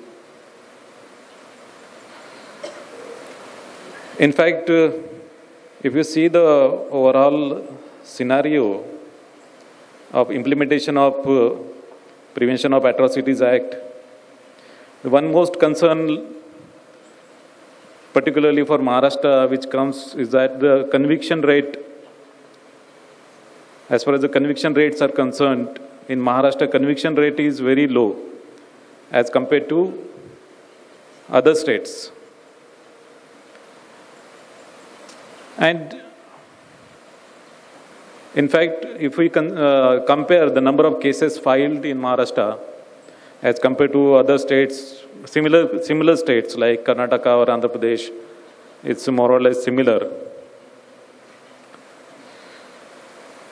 And in fact, the number of cases filed also actually hovers around 1,500 to 2,000 cases per year. Like in 2011, 1,469 cases were filed. After that, 1,407, then 2,068, and 2,191, and lately 1,862. So it's around 1,500 to 2,000 cases are filed every year. And as far as the bifurcation of uh, crime is concerned, I think uh, the most number of crimes falls into other category. And in fact, like some of the major crime, like if you consider murder, it is, uh, if you take a particular typical figure of one year, murder it is 52, then Gambhir Dukhapat is 124, rape 241, Javo 35, Dangal 236, Vinay Bhanga 341, Nene 67, Jabri Chori 30, Daroda 40. So almost this, this also actually, this pattern is also more or, more or less similar every year. So there is hardly any change. But then if you consider the pendency of the cases, uh, in fact, as far as the Maharashtra is concerned, uh, pendency as compared to other state is uh, very high. In fact, today's pendency, if you see, it's almost uh, around 9,500 cases are pending as of date. And if you consider the figures, conviction figures of uh, last year, uh, only in 55 cases, uh, order for conviction was passed, and almost 332 cases were acquitted. So we need to actually think about what exactly is the cause. Professor Sukhadeo Thoratji has elaborated very in detail the total analysis of exactly what is happening. But if, if you can see also the demographic uh, distribution of these cases, so you can sort of a, there is some relation like the most number of conviction are, are happening in Uttar Pradesh. Uh, in fact, I am getting taking your figures only. Uttar Pradesh is 52.3% cases. And Rajasthan, it is uh, 40%. They are all, almost on top of the list. But you consider Karnataka, Karnataka, which is our nearby state, the conviction rate is 3.7%, is much lower than Maharashtra. Uh, even if you take like uh, um, Kerala, Kerala, the conviction rate is 7%. And Gujarat, it is 4%. Maharashtra is 6%. So I think there, there seems to be the most backward, the more backward the state is, the more number of conviction rate is there. And more advanced economically or otherwise state is there, conviction rates are low. So this particular correlation we need to study further. So why it is happening ki in advanced state the conviction rate is low and why in backward state like Uttar Pradesh and Rajasthan, even Chhattisgarh, where the conviction rate is 36%. So these are basically traditionally uh, North Indian state, particularly Uttar Pradesh, Bihar, Rajasthan, Chhattisgarh, where conviction rate is very, very high. Another uh, interesting, uh, once again, I'm uh, getting statistics from uh, Professor Thorat's report only. Uh, if you consider subcaste-wise, uh, actually victim percentage, subcaste-wise victim percentage, if you see, then in Maharashtra, Mahars are most, actually, most of the victims are from Mahar. So almost 59% of victims are from Mahar community. And uh, Matang, if you take Matang, 27%, and Chambar, if you say, if you take, they are hardly 5% cases, hardly 5% of victims are from Chambar. And uh, the communities which are actually committing uh, atrocities, they are uh, like Marathas with 44%, then Vanjari. Vanjari actually is a backward, uh, uh, is included in uh, nomadic tribes and Vimukta Jati. So they are a sort of a kind of Dalits to us also. So Vanjari is just five, Vanjari actually they commit atrocities of five, and their percentage is 5.47%. Interestingly, Muslims, Muslims commit atrocities, almost 10% of Muslims, they commit atrocities on SCs and STs.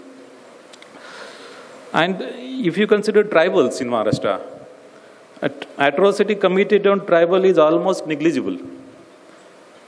If you consider Bhil tribal is 1.9%, and if you consider Mahadev Koli, they are 0.7%. Only these two tribes uh, some atrocities are committed and that also on very, very low side. I think these actually uh, figure also we have to study and what exactly, why Mahars are being targeted so much. Almost 60% of cases are happening against Mahar. I think there has to be some connect between uh, political uh, organization or some sort of political unity. And in fact, the society has to come up with, uh, some robust organization which actually works uh, for, uh, in fact, uh, pre-commitment of atrocities as, as well as post-commitment of atrocity. Society should come, come up with, society and civil society should come up with some, some kind of sound organization which actually works uh, uh, in this field.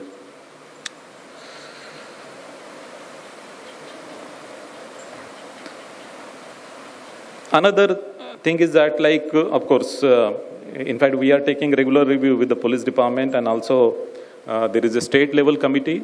Uh, there is district level committee uh, under uh, collector of every district where meetings are conducted regularly and also divisional level meetings are also there. Divisional level vigilance committee is there which is headed by a divisional commissioner. So those meetings, of course, uh, the frequency of those meetings may be little less than uh, the district level meetings, but then those meetings are also conducted uh, regularly. But actually, in fact, uh, despite uh, all this, Maharashtra government should, I also think that should give more priority towards uh, effective implementation of Prevention of Atrocities Act. And there are a lot of grounds uh, we need to study further about the low conviction rate. There might be something like procedural uh, lacunas might be there, like appropriate authority is not investigating the crime, and then a FIR has not been uh, lodged on time, charge sheet is, is not filed on time. So these are actually the procedure now, which can definitely be corrected. But there are substantial causes like the witness and uh, the victims actually, uh, in fact, uh, going against the case in courts. As far as PD uh, disposal of cases, uh, government has started six special courts. And out of these six special courts, uh, three uh, special courts has already started uh, functioning, mainly in Mumbai, Aurangabad, and Thane. these special courts have already started functioning. And in fact, another three places, Nashik, Pune, and Amravati, we will soon be starting uh, the special courts. In other district, district places, uh, the district court has uh, been designated as a special court uh, uh, in those places, but they are also trying other kind of cases. So we are doing our level best to speedy recovery of these cases, and in fact, uh, Honorable CM sir is also going to take one meeting regarding this.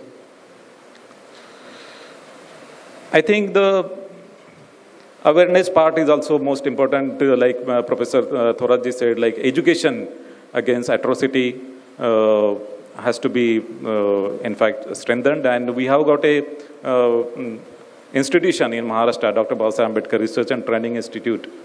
Uh, Mr. Rajesh Dhabre, who is Director General of the Institute, is present here. So we need to conduct more uh, awareness campaign and more workshops. Uh, in fact, police department also has to be sensitized uh, as far as the implementation of this act is concerned. One thing actually in, uh, in the uh, rural area which I observe like, uh, in fact, wherever there is a urban uh, migration from rural area, so in urban area the prevention of atrocity is uh, much lesser. The atrocity cases mostly happens. I actually gave you figure overall India, we state the atrocity cases are higher on the higher side. But within Maharashtra also, if you see the atrocity cases, the most of the atro- atrocity cases happen in the backward region of Maharashtra. Like if, if you take Marathwada and Vidarbha, and uh, in, in fact some part of western Maharashtra, although it is not uh, uh, basically backward, but then predominantly agriculture area. So wherever the um, uh, areas are economically backward and predominantly agriculture, so there atrocities uh, cases are happening mostly. And in fact, uh, like what Dr. Bose Ambedkar said, that they should be shipped from urban, from rural area. Like Dalit communities should basically uh, should be migrated to urban area where the prevention of atrocity is much much lower, and then need uh, there is need to resettle and rehabilitate them in urban areas. And most of the scheduled caste families which come to urban area, they live in slum. Although they live in slum, they have much better life. So uh, actually, they earn more, and also social discrimination is much uh, lesser. So uh, definitely, uh, uh, in fact, whatever the recommendations of uh, Professor Sukhadeo Thorat and uh, the uh, also uh, recommendation of various civil societies, uh, the government of Maharashtra will definitely make a plan uh, to spread uh, awareness among people against uh, atrocities and also uh, make an action plan uh, for speedy uh, disposal of uh, pending cases. Thank you much.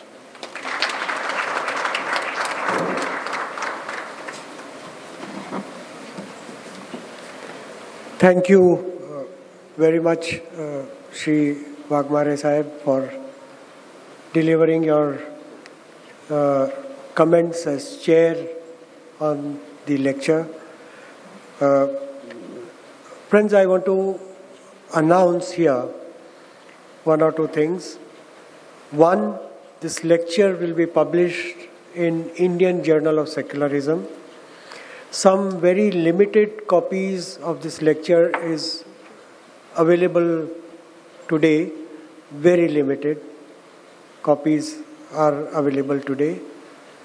Uh, we didn't have sufficient time to publish it, but we'll be publishing it in Indian Journal of Secularism. You can get your copy of Indian Journals of Secularism as and when it's published. We'll advertise.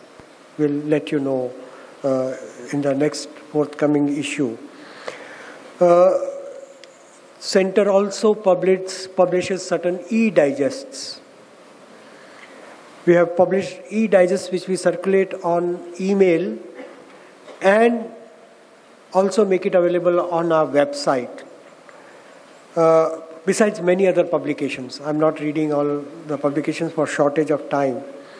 Uh, one or two e-digests that I would like to inform you and which is available on our website is Gandhi's assassination, Godse and RSS connection. Another e-digest is Ambedkar's appropriation by Hindutva ideology. Uh, the third e-digest is native terror factories.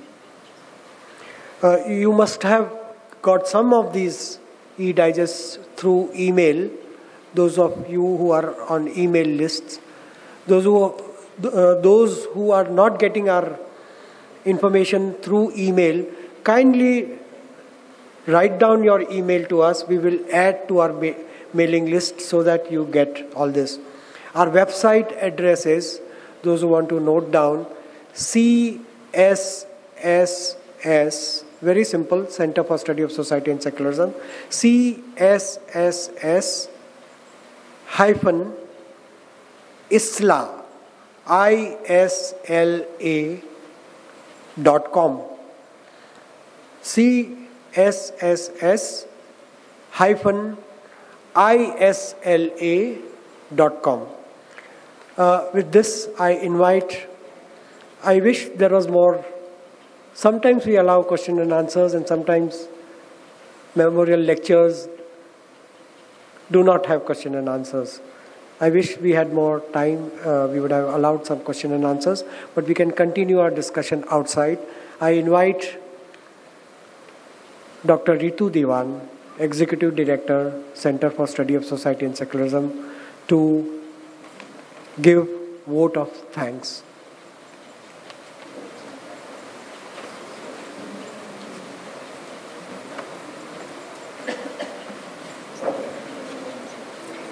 I really wish we had uh, more time because there's a lot of debate which is going on and uh, there's a lot more to hear and a lot more to learn and probably to say also.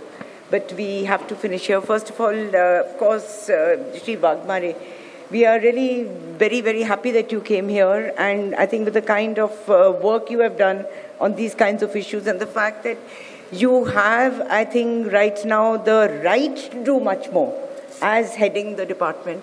So a special appeal to you to take a lot of the issues forward, what has been raised by Professor Thorat. And I assure you that the center will provide full support, whether it's in terms of workshops or research on some of the areas which have been mentioned. So thank you very, very much for that. Uh, Professor Thorat is, uh, belongs to that very maligned group of which I'm also a part called an economist. And, uh, but uh, I think an economist, what we all know, is basically, I mean, an economist is really a social scientist. And I think there can't be any better uh, illustration of somebody who uses science, a scientific method to understand what society is doing. So I really thank you very much for the issues which uh, uh, you have uh, raised.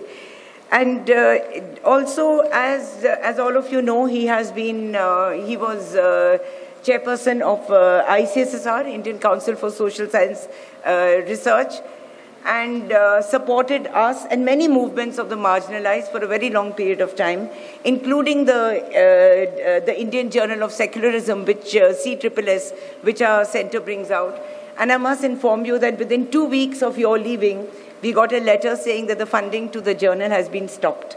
So that is one, an immediate, uh, one can understand the context of what has happened. Another, uh, when he was the chairperson of uh, UGC, he was one of the greatest supporters of our women's studies uh, centers. And we've set up now 163 uh, centers, 163 universities. But again, very sad to say, two months ago we got a circular saying 30th of September is the last date of the existence of the Women's Studies Centers. So that's another, I think you can join us in the battle for that as ex-UGC and ex-ICSSR. There's also, of course, uh, I think being here in this amazing hall with this huge history to it. So Mr. Uh, uh, Kale Vispi Balaporia, who's been very much part of uh, movements for a very long uh, period of time, and the entire staff of the Asiatic Society for uh, this hall and for all the facilities. Uh, Javed Mirza, who has designed gratis in support of the center and the values of the center, the invitation and the graphic. Uh, uh, that's Amir uh, Rizvi who has done. Javed uh, Mirza, I think, needs a very special kind of uh, introduction. He has come all the way and he has been continuously making his points and I think had many questions to raise in relation to the talk which was given. So I'm sure over in the evening we'll be able to have a discussion on that. Uh, Amir Rizvi, like I said, is a graphic designer who has been designing all these issues. Videography staff members who are uh, there. We will, of course, edit and put it up on uh, YouTube in a, as long as we, uh, in within a matter of days. The catering staff, a very special thank you for the tomatoes which were used in the sandwich, which were really, I think many of us were tasting these tomatoes after a very long period of time. The entire uh, team of the Asghar Ali uh, Memorial Committee, some are here, some could not be here, and have sent their apologies. Uh, Farooq Waris, Darryl D'Monte, Saeed Mirza, they were just not able to come. Also the entire team of CSSS, and uh, I think most important is all of you who have come and the audience, because I think without the kind of support which has been shown, particularly today in terms of the numbers of people, and particularly the young who have come for this uh, program, we cannot take this entire vision uh, forward. So my request is to not just see, of course, what has been discussed today, but also to question the kind of issues of untouchability which are taking place on a daily basis, whether it's individual, whether it's social, or whether it's at a broader level now. And in this context, I just want to see one or two things which we all the time. As an economist, I've been working on informal sector. And the issue, I think, what you raised about economic empowerment and economic structures, economic power structures is extremely important because everywhere you go, if you see the wages which are given, of course, they're low for everybody. So 100 rupees wages, say, at, take 150 rupees wages, वो दलित workers को और मुस्लिम workers को दो रुपया कम देंगे and it's not the two rupees is a huge amount of profit which is there but उनकी उनकी औकात दिखाने के लिए उनकी जगह दिखाने के लिए to make a point that you are lower than the others question which, of course, we keep answering, whether it's a women's movement or in the Dalit movement, is the fact that when uh, anganwadi worker, अगर वो औरत है अगर वो खाना पकाती है तो बच्चे नहीं भेजे जाएँगे क्योंकि वो दलित के हाथ का खाना नहीं खाएँगे but this no question of untouchability when you rape these women that is one issue this second i think which is becoming a very very major one today and which we are all aware of इसके आप दलित के हाथ का पानी नहीं पिएंगे but when you are bathed in the blood of a dalit who you hack where does your issue of untouchability go in that? So my uh, appeal to you all, particularly the younger lot, is to please take this vision forward and, and to question these kinds of inequalities which permeate at every single level, not only individual, not only public, but now I think what is very, very important, going beyond that into the broader public, what we call uh, vigilante groups, or uh, with, with a total silence which takes place and the kinds of sanction which it brings. And please remember that the greatest friend of anything which is evil is the silence of good people. And I request you, please don't play silent. Thank you very much.